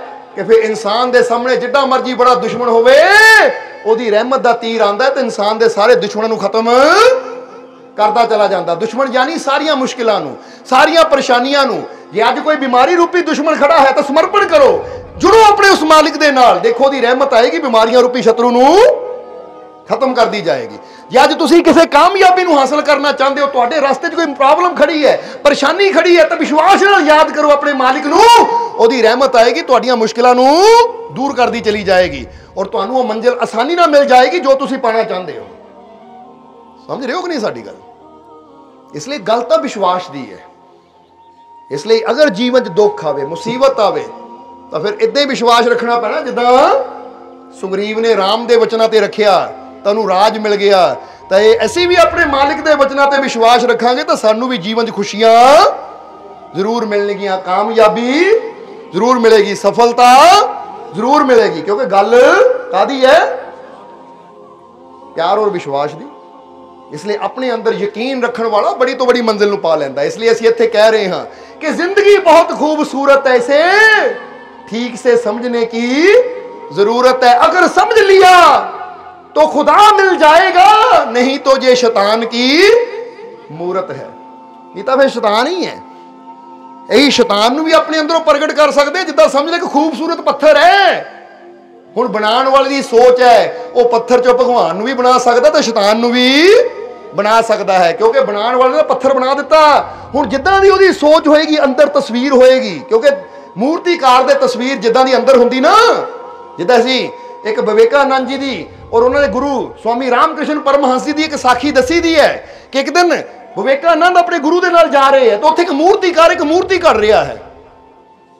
ਤਾਂ ਜਦੋਂ ਮੂਰਤੀ ਘੜਦਾ ਦੇਖਿਆ, ਤਾਂ ਉਸ ਲਈ ਰਾਮਕ੍ਰਿਸ਼ਨ ਵਿਵੇਕਾਨੰਦ ਨੂੰ ਕੋਈ ਸਮਝਾਣਾ ਸੀ, ਇਸ ਲਈ ਉਹਨੂੰ ਨਾਲ ਲੈ ਕੇ ਮੂਰਤੀਕਾਰ ਕੋਲ ਚਲੇ ਗਏ।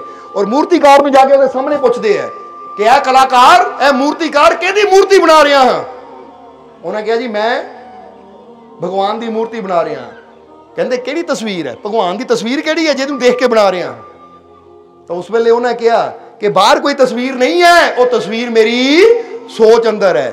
ਮੈਂ ਅੱਖਾਂ ਬੰਦ ਕਰਕੇ ਪਹਿਲਾਂ ਸੋਚਦਾ, ਫਿਰ ਮੈਂ ਇੱਥੇ ਉਹਨੂੰ ਬਣਾਉਂਦਾ ਹਾਂ। ਜਿੱਦਾਂ ਹੁਣ ਫਰਜ਼ ਕਰੋ ਤੁਹਾਡੇ ਮੂਰੇ ਕਾਗਜ਼ ਦੇ ਦਿੱਤਾ ਜਾਵੇ, ਕਲਮ ਦੇ ਦਿੱਤੀ ਜਾਵੇ, ਜਿਹਨੂੰ ਥੋੜੀ ਜਿਹੀ ਵੀ ਡਰਾਇੰਗ ਦੀ ਨੌਲੇਜ ਹੈ, ਉਹਨੂੰ ਕਿਹਾ ਜਾਵੇ ਫੁੱਲ ਦੀ ਤਸਵੀਰ ਬਣਾ। ਤਾਂ ਉਹਨਾਂ ਕੀ ਕਰਨਾ? ਆਪਣਾ ਅੱਖਾਂ ਬੰਦ ਕਰਕੇ ਸੋਚਣਾ ਮੈਂ ਕਿਹੜੇ ਫੁੱਲ ਦੀ ਬਣਾ ਗੁਲਾਬ ਦੀ ਬਣਾਣੀ ਹੈ, ਕਿਹਦੀ ਬਣਾਣੀ ਹੈ? ਫਿਰ ਅੱਖਾਂ ਬੰਦ ਕਰਕੇ ਨਜ਼ਰ ਆਂਦੀ ਤਾਂ ਫਿਰ ਨਾਲ ਲਈ ਲਾਈਨਾਂ ਖਿੱਚਣੀਆਂ। ਸ਼ੁਰੂ ਕਰ ਦੇ। ਇੱਧਰ ਲਾਈਨਾਂ ਖਿੱਚਦਾ ਉਧਰ ਨਾਲ ਨਾਲ ਇਮੇਜ ਅੰਦਰ ਚੱਲਦੀ ਹੈ। ਚੱਲਦੀ ਹੈ ਕਿ ਨਹੀਂ? ਨਹੀਂ ਤਾਂ ਉਦਾਂ ਬੰਦਾ ਖਿੱਚ। ਲਾਈਨਾਂ ਖਿੱਚ ਨਹੀਂ ਸਕਦਾ। ਹੁਣ ਜਦੋਂ ਉਹਨੇ ਕਿਹਾ ਜੀ, ਇਹ ਸੋਚ ਮੇਰੇ ਅੰਦਰ ਹੈ, ਉਹ ਮੂਰਤੀ ਮੇਰੇ ਅੰਦਰ ਹੈ, ਔਰ ਜੋ ਮੇਰੇ ਅੰਦਰ ਸੋਚ ਹੈ, ਉਹੀ ਬਾਹਰ ਇੱਥੇ ਪ੍ਰਗਟ ਹੋ ਰਹੀ ਹੈ। ਤਾਂ ਰਾਮਕ੍ਰਿਸ਼ਨ ਪਰਮਹੰਸ ਮੁਸਕਰਾਏ, ਕਹਿੰਦੇ, ਵਿਵੇਕਾਨੰਦ, ਸਮਝਿਆ ਕੁਛ? ਵਿਵੇਕਾਨੰਦ ਕਹਿੰਦੇ, ਮਹਾਰਾਜ, ਬਹੁਤ ਬੜਾ ਸਬਕ ਸਮਝ ਲਿਆ ਗੁਰੂਦੇਵ। ਕਹਿੰਦੇ ਕੀ ਸਮਝਿਆ ਫਿਰ? ਉਹ ਕਹਿੰਦੇ ਸਾਡੀ ਜ਼ਿੰਦਗੀ ਵੀ ਪੱਥਰ ਦੀ ਤਰ੍ਹਾਂ ਹੀ ਹੈ। ਜੈਸੀ ਸਾਡੀ ਸੋਚ ਹੋਣੀ ਹੈ, ਵੈਸੀਆਂ ਸਾਡੀਆਂ ਆਦਤਾਂ ਹੋਣੀਆਂ ਹੈ। ਔਰ ਜੈਸੀ ਸਾਡੀ ਆਦਤਾਂ ਦੀ ਸੱਟ ਸਾਡੇ ਜੀਵਨ ਦੇ ਪੱਥਰ ਤੇ ਪੈਣੀ ਹੈ, ਵੈਸਾ ਹੀ ਸਾਡਾ ਆਕਾਰ ਬਣਦਾ ਚਲਾ ਜਾਣਾ ਹੈ। ਇਸ ਲਈ ਚੈੱਕ ਕਰੋ ਕਿ ਸਾਡੀ ਸੋਚ ਕਿੱਦਾਂ ਦੀ ਹੈ। ਸੋਚ ਬੁਰੀ, ਆਦਤਾਂ ਬੁਰੀਆਂ। ਆਦਤਾਂ ਬੁਰੀਆਂ ਤਾਂ ਜ਼ਿੰਦਗੀ ਬੁਰੀ। ਸੋਚ ਅੱਛੀ, ਆਦਤ ਅੱਛੀ। ਆਦਤ ਅੱਛੀ ਤਾਂ ਜ਼ਿੰਦਗੀ ਕੀ ਬਣਦੀ ਹੈ ਫਿਰ? ਜਵਾਬ ਦੇ ਦਿਓ ਅੱਛੀ ਬਣਦੀ ਹੈ ਇਸ ਲਈ ਪਹਿਲੀ ਗੱਲ ਤਾਂ ਇਹ ਵੀ ਗੱਲ ਕਹਾਂਗੇ ਇਹ ਜ਼ਿੰਦਗੀ ਇਹ ਜੀਵਨ ਜ਼ਿੰਦਗੀ तो सबको मिलती है मगर जरा हम गौर करना जिंदगी तो सबको मिलती है मगर सबको जीना कहां आता है जिंदगी तो सबको मिलती है मगर सबको जीना कहां आता है ओ साज तो कोई भी खरीद सकता है ਮਗਰ ਜਿਸ ਕੋ ਸਮਝ ਹੋਤੀ ਹੈ, ਸੁਰ ਤੋਂ ਉਹੀ ਵਜਾਤਾ ਹੈ। ਸਾਜ ਤਾਂ ਤੁਸੀਂ ਖਰੀਦ ਲਿਆਉਂਗੇ ਕਿ ਲੈ ਵੀ ਲਿਆਂਦਾ ਹਾਰਮੋਨੀਅਮ ਖਰੀਦ ਕੇ 2500 ਦਾ। ਪਰ ਜੇ ਵਜਾਣੇ ਨਾ ਆਵੇ, ਸਮਝ ਹੀ ਨਾ ਹੋਵੇ ਤਾਂ ਐਵੇਂ ਭੈਂ ਭੈਂ ਕਰੀ ਜਾਣੀ ਫਿਰ। ਗਵਾਂਡੀਆਂ ਨੇ ਕਹਣਾ, ਬੰਦ ਕਰ, ਸਿਰ ਦੁਖਣ ਲੱਗ ਪਿਆ। ਹੁਣ ਬੱਚੇ ਨੂੰ ਢੋਲਕੀ ਲੈ ਦਿਓ। ਢੋਲਕੀ ਕਿੰਨੇ ਦੀ ਆਏਗੀ? 4 500 1500 ਹਜ਼ਾਰ ਦੀ। ਪਰ ਜੇ ਬਜਾਣੀ ਨਾ ਆਏਗੀ, ਐ ਉੱਠਾ ਪੱਥਾ ਪੱਥਾ ਪ ਕਰੇਗਾ ਦੇਖਣਾ ਬੰਦ ਕਰ, ਸਿਰ ਦੁਖਣ ਲੱਗ ਪਿਆ। ਸੋ ਸਾਜ ਤੋਂ ਕੋਈ ਵੀ ਖਰੀਦ ਸਕਤਾ ਹੈ। ਮਗਰ ਜਿਸ ਕੋ ਸਮਝ ਹੋਤੀ ਹੈ, ਸੁਰ ਤੋਂ ਵਹੀ ਵਜਾਤਾ ਹੈ, ਪਰ ਜਿਹਨੂੰ ਸਮਝ ਹੁੰਦੀ ਹੈ ਸਾਜ਼ ਵਜਾਉਣ ਦੀ ਨਾ, ਸੁਰ ਉਹੀ ਕੱਢੇਗਾ, ਅੱਛਾ ਸੁਰ, ਜਿਹਨੂੰ ਤਬਲੇ ਦੀ ਸਮਝ ਹੈ, ਹੁਣ ਜਰਾ ਗੌਰ ਕਰੋ। ਅੱਜ ਕਿਹਾ ਜਾਂਦਾ ਨਾ, ਜਾਕਰ ਹੁਸੈਨ ਬਹੁਤ ਬੜੇ ਤਬਲਾ ਵਾਦਕ। ਮਹਾਨ ਕਿਹਾ ਜਾਂਦਾ ਉਹਨਾਂ ਨੂੰ। ਤਾਂ ਉਹਨਾਂ ਨੇ ਕੀ ਕੀਤਾ ਕੀ ਉਹਨਾਂ ਨੇ? ਸਿਰਫ ਤਬਲਾ ਵਜਾਇਆ। ਤਬਲਾ ਹੀ ਵਜਾਇਆ ਨਾ, ਕੋਈ ਤਬਲਾ ਵਜਾਣਾ ਬੜੀ ਗੱਲ ਨਹੀਂ ਹੈ। ਪਰ ਤਬਲਾ ਵਜਾਇਆ ਇੰਨੀ ਵਾਰ ਵਜਾਇਆ, ਇੰਨਾ ਵਧੀਆ ਵਜਾਇਆ, ਵਜਾਉਂਦੇ ਗਏ ਪ੍ਰੈਕਟਿਸ ਕਰਦੇ ਗਏ ਕਰਦੇ ਗਏ, ਇੰਨਾ ਵਧੀਆ ਵਜਾਇਆ ਕਿ ਉਹ ਮਹਾਨ ਹੋ ਗਏ, ਕਿ ਲੈ ਵੀ ਮਹਾਨ ਕਲਾਕਾਰ। ਹੁਣ ਅਸੀਂ ਕਹਿੰਦੇ, ਹਰੀ ਪ੍ਰਸ਼ਾਦ ਚੁਰਸੀਆ ਜੀ, ਬਾਂਸਰੀ ਵਾਦਕ ਕਿ ਸਾਡੇ ਇੰਡੀਆ ਦੇ ਬਹੁਤ ਮਸ਼ਹੂਰ। ਹੁਣ ਕੀ ਕੀਤਾ ਕਿ ਬਾਂਸਰੀ ਤਾਂ ਰਸਤੇ ਤੁਰਨ ਫਿਰਨ ਵਾਲਾ ਨਾ, ਇੱਕ ਬੱਚਾ ਵੀ ਵਜਾ ਲੈਂਦਾ ਹੈ। ਬਾਂਸਰੀ ਵਜਾਣੀ ਕੋਈ ਬੜੀ ਗੱਲ ਨਹੀਂ ਹੈ। ਬਾਂਸਰੀ ਵਜਾਣੀ ਕੋਈ ਬੜੀ ਗੱਲ ਨਹੀਂ ਹੈ। ਪਰ ਇੰਨੀ ਮਿਹਨਤ ਨਾ ਵਜਾਈ ਇੰਨੀ ਪ੍ਰੈਕਟਿਸ ਕੀਤੀ ਇਦਾਂ ਵਜਾਈ ਇਦਾਂ ਵਜਾਈ ਵਜਾਉਂਦੇ ਚਲੇ ਗਏ, ਮਿਹਨਤ ਕਰਦੇ ਚਲੇ ਗਏ ਇਦਾਂ ਦੇ ਵਧੀਆ ਸੁਰ ਕੱਢੇ ਕਿ ਬਾਂਸਰੀ ਵਿੱਚ ਮਹਾਨ ਹੋ ਗਏ, ਅੱਜ ਦੁਨੀਆ ਤੇ ਉਹਨਾਂ ਦਾ ਨਾਮ ਹੈ। ਜਾਂ ਦੂਜੇ ਲਫ਼ਜ਼ਾਂ 'ਚ ਕਹੀਏ, ਸਚਿਨ ਤੰਦੂਲਕਰ ਨੇ ਕੀ ਕੀਤਾ ਸੀ? ਫਿਰ ਉਹ ਬੈਟ ਬਾਲ ਬੈਟ ਹੀ ਬੱਲਾ ਹੀ ਖੇਲਿਆ ਨਾ ਬੈਟਿੰਗ ਹੀ ਕੀਤੀ। ਤਾਂ ਬੈਟਿੰਗ ਦਾ ਤੁਸੀਂ ਦੇਖੋ, ਗਲੀਆਂ 'ਚ ਬੱਚੇ ਵੀ ਕਰਦੇ ਆ। ਕਿਹੜਾ ਮਹਾਨ ਕੰਮ ਕੀਤਾ? ਕੋਈ ਮਹਾਨ ਕੰਮ ਸੀ ਬੈਟਿੰਗ ਕਰਨਾ? ਪਰ ਨਹੀਂ ਇੰਨੀ ਵਾਰ ਕੀਤਾ ਔਰ ਇੰਨਾ ਅੱਛਾ ਕੀਤਾ ਕਿ ਮਾਸਟਰ ਬਲਾਸਟਰ ਬਣ ਗਏ। ਦੁਨੀਆ ਨੇ ਕਿਹਾ, ਮਹਾਨ ਬੱਲੇਬਾਜ਼। ਸੋ ਕਹਿਣ ਦਾ ਮਤਲਬ ਕੰਮ ਸਧਾਰਨ ਹੀ ਹੁੰਦੇ ਐ, ਕੰਮ ਛੋਟੇ ਛੋਟੇ ਹੁੰਦੇ ਐ, ਪਰ ਜਦੋਂ ਅਸੀਂ ਉਹਨਾਂ ਨੂੰ ਕਰਦਿਆਂ ਕਰਦਿਆਂ ਇੰਨੇ ਵਧੀਆ ਢੰਗ ਨਾਲ ਕਰਨਾ ਸ਼ੁਰੂ ਕਰ ਦਿੰਦੇ, ਤਾਂ ਉਹੀ ਕੰਮ ਸਾਨੂੰ ਮਹਾਨ ਬਣਾ ਦਿੰਦਾ ਹੈ। ਇਹਲੇ ਗੱਲ ਨਹੀਂ, ਕੰਮ ਦੀ ਗੱਲ ਹੈ ਕਿ ਕੰਮ ਅਸੀਂ ਕਿੰਨਾ ਵਧੀਆ ਕਰਦੇ ਆ ਕਿਉਂਕਿ ਵਧੀਆ ਕੰਮ ਕਰੀ ਜਾਓ ਤਾਂ ਛੋਟਾ ਕੰਮ, ਸਧਾਰਨ ਕੰਮ ਵੀ ਸਾਨੂੰ ਮਹਾਨਤਾ ਦੀ ਉਚਾਈ ਤੱਕ ਲੈ ਜਾਏਗਾ। ਹੁਣ ਇਹ ਕੋਈ ਵੀ ਲੈ ਲਓ ਤੁਸੀਂ। ਚਾਹੇ ਤੁਸੀਂ ਕਿਸੇ ਹੀਰੋ ਦੀ ਗੱਲ ਕਰ ਲੋਗੇ ਫਿਲਮਾਂ 'ਚ ਐਕਟਿੰਗ ਕਰਨੀ ਕੋਈ ਬੜੀ ਗੱਲ। ਪਰ ਐਕਟਿੰਗ ਇੰਨੀ ਵਧੀਆ ਕਰਨ ਨਾਲ ਕਹਿੰਦੇ ਮਹਾਨ ਕਲਾਕਾਰ। ਸਮਝਦੇ ਹੋ ਕਿ ਨਹੀਂ? ਮਾਈਕਲ ਐਂਜਲੋ ਨੂੰ ਮਹਾਨ ਮੂਰਤੀਕਾਰ ਕਿਹਾ ਜਾਂਦਾ ਤਾਂ ਮੂਰਤੀਕਾਰ ਤਾਂ ਅੱਜ ਸੜਕਾਂ ਤੇ ਵੀ ਬੜੇ ਬੈਠੇ ਹੁੰਦੇ ਆ। ਦੇਖਿਆ ਨਾ ਮੂਰਤੀਆਂ ਰੱਖ ਕੇ ਰੋਲਾਂ ਤੇ ਕਈ ਵਾਰ ਬੈਠੇ ਹੁੰਦੇ ਆ। ਪਰ ਉਹਨਾਂ ਨੂੰ ਕੋਈ ਮਹਾਨ ਨਹੀਂ ਕਹਿੰਦਾ ਪਰ ਮਾਈਕਲ ਐਂਜਲੋ ਇੰਨੇ ਮਹਾਨ ਮੂਰਤੀ ਕਰਕੇ ਅੱਜ ਉਹਨਾਂ ਦੀ ਮੂਰਤੀ ਖਰੀਦਣੀ ਹੋਵੇ ਤਾਂ ਮਿਲਦੀ ਨਹੀਂ ਹੈ ਲੱਖਾਂ ਡਾਲਰ ਦੇ ਕੇ ਵੀ ਕਿਉਂਕਿ ਕੰਮ ਦੇਖਣ ਨੂੰ ਛੋਟੇ ਛੋਟੇ ਹੀ ਹੁੰਦੇ ਸਧਾਰਨ ਹੀ ਹੁੰਦੇ ਐ ਪਰ ਜਦੋਂ ਕਰਦਾ ਕਰਦਾ ਬੰਦਾ ਪਰਫੈਕਟ ਹੋ ਜਾਂਦਾ ਨਾ ਉਹਨੂੰ ਇਦਾਂ ਕਰਦਾ ਕਿ ਉਹਦੇ ਵਰਗਾ ਹੋਰ ਕੋਈ ਕਰ ਹੀ ਨਾ ਸਕੇ ਫਿਰ ਮਹਾਨਤਾ ਆਂਦੀ ਹੈ ਇਸ ਕਰਕੇ ਜ਼ਿੰਦਗੀ तो सबको मिलती है मगर सबको जीना कहां ਆਤਾ ਹੈ। ਹੁਣ ਜੇ ਤੁਹਾਨੂੰ ਇਹ ਜ਼ਿੰਦਗੀ ਹੈ ਤੁਹਾਡੀ ਜ਼ਿੰਦਗੀ ਜ਼ਿੰਦਗੀ ਹੈ। ਕੀ ਸਵਾਸ ਲੈਣਾ ਹੀ ਜ਼ਿੰਦਗੀ ਹੈ? ਰੋਟੀ ਖਾਣਾ ਹੀ ਜ਼ਿੰਦਗੀ ਹੈ? ਸੌ ਲਿਆ, ਜਾਗਣਾ ਹੀ ਜ਼ਿੰਦਗੀ ਹੈ? ਜੇ ਇਹੀ ਜ਼ਿੰਦਗੀ ਹੈ, ਤਾਂ ਫਿਰ ਇਹ ਪਸ਼ੂ ਪੰਛੀਆਂ ਦੀ ਵੀ ਹੈ। ਉਹ ਵੀ ਜਾਗਦੇ ਆ, ਸੌਂਦੇ ਆ, ਖਾਣਾ ਖਾਂਦੇ ਆ, ਬੱਚਿਆਂ ਨੂੰ ਪਾਲ ਲੈਂਦੇ, ਗਾਉਂ ਵੀ ਦੁੱਧ ਪਿਲਾਉਂਦੀ ਆਪਣੇ ਬੱਚੇ ਨੂੰ, ਚਿੜੀ ਵੀ ਦਾਣਾ ਲਿਆ ਕੇ ਪਾ ਦਿੰਦੀ ਹੈ ਜੇ ਇੰਨਾ ਕੰਮ ਤੁਸੀਂ ਕਰ ਰਹੇ ਹੋ, ਫਿਰ ਕਾਦੀ ਜ਼ਿੰਦਗੀ ਹੀ ਫ਼ਰਕ ਹੈ? ਇਹ ਜ਼ਿੰਦਗੀ ਦੇਖੋ ਕਿ ਮੈਂ ਮਹਾਨਤਾ ਵਾਲਾ ਕਰਮ ਕੀ ਕਰ ਰਿਹਾ ਹਾਂ। ਮੈਂ ਅੱਛਾ ਕਰਮ ਕੀ ਕਰ ਰਿਹਾ ਹਾਂ। ਅਗਰ ਮੇਰੀ ਜ਼ਿੰਦਗੀ ਹੈ ਪਰ ਮੈਂ ਲੜਾਈਆਂ ਝਗੜਿਆਂ ਵਿੱਚ ਹੀ ਗੁਜ਼ਾਰ ਰਿਹਾ ਹਾਂ, ਨਿੰਦਿਆ ਚੁਗਲੀ ਵਿੱਚ ਹੀ ਗੁਆ ਰਿਹਾ ਹਾਂ, ਤਾਂ ਫਿਰ ਮੇਰੀ ਜ਼ਿੰਦਗੀ ਕਾਦੀ ਫਿਰ ਤਾਂ ਜਾਨਵਰਾਂ ਦੀ ਜ਼ਿੰਦਗੀ ਮੇਰੇ ਨਾਲੋਂ ਚੰਗੀ ਹੈ। ਆਪਣੇ ਪਰਿਵਾਰ ਨੂੰ ਪਾਲਦੇ ਆ, ਦਾਣੇ ਚੁਗਦੇ ਆ, ਖਾਂਦੇ ਆ, ਪੇਟ ਭਰਦੇ ਆ, ਪਰ ਕਿਸੇ ਦੀ ਨਿੰਦਿਆ ਤਾਂ ਨਹੀਂ ਕਰਦੇ। ਕਿਸੇ ਦਾ ਝਗੜਾ ਤਾਂ ਨਹੀਂ ਕਰਦੇ, ਕਿਸੇ ਦਾ ਘਰ ਤਾਂ ਨਹੀਂ ਬਰਬਾਦ ਕਰਦੇ। ਫਿਰ ਤਾਂ ਸਾਡੇ ਨਾਲੋਂ ਚੰਗੀ ਜ਼ਿੰਦਗੀ ਜਾਨਵਰ ਜੀ ਰਹੇ ਆ। ਪਰ ਸਾਡੀ ਚੰਗੀ ਜ਼ਿੰਦਗੀ ਕਦੋਂ ਹੋਏਗੀ ਜਦੋਂ ਜੀਵਨ 'ਚ ਅਸੀਂ ਕੁਝ ਅੱਛਾ ਕਰਾਂਗੇ ਜਿਹਦੇ ਨਾਲ ਇਹ ਸਮਾਜ ਨੂੰ ਅੱਛਾ ਮਿਲੇ ਜਿਹਦਾ ਸ਼੍ਰੀ ਕ੍ਰਿਸ਼ਨ ਨੇ ਕਿਹਾ ਨਾ हे अर्जुन काले नाग से भी ज्यादा खतरनाक होता है काले मन वाला इंसान क्योंकि काले नाग का जहर समाज को उतना नुकसान नहीं पहुंचाता जितना बुरी सोच वाला इंसान पहुंचाता है ਇਹ ਸ਼੍ਰੀ ਕ੍ਰਿਸ਼ਨ ਦੇ ਬਚਨ ਹੈ ਉਹ ਕਹਿੰਦੇ ਕਾਲੇ ਨਾਗ ਤੋਂ ਵੀ ਜ਼ਿਆਦਾ ਖਤਰਨਾਕ ਹੁੰਦਾ ਕਾਲੇ ਕਿਉਂਕਿ ਨਾਗ ਨੂੰ ਦੇਖ ਕੇ ਤਾਂ ਬੰਦਾ ਹੁਸ਼ਿਆਰ ਹੋ ਜਾਂਦਾ ਤੇ ਜਿਹਦਾ ਮਨ ਕਾਲਾ ਹੋਵੇ, ਉਹ ਤਾਂ ਹੁਸ਼ਿਆਰ ਹੋਣ ਦਾ ਵੀ ਮੌਕਾ ਨਹੀਂ ਦਿੰਦਾ, ਪਿੱਠ ਪਿੱਛੇ ਛੁਰੀ ਮਾਰ ਕੇ ਦੌੜ ਜਾਂਦਾ ਹੈ। ਔਰ ਇਹ ਵੀ ਕਿਹਾ ਕਿ ਕਾਲੇ ਨਾਗ ਦਾ ਜ਼ਹਿਰ ਸਮਾਜ ਕੋ ਉਤਨਾ ਨੁਕਸਾਨ ਨਹੀਂ ਪਹੁੰਚਾਤਾ।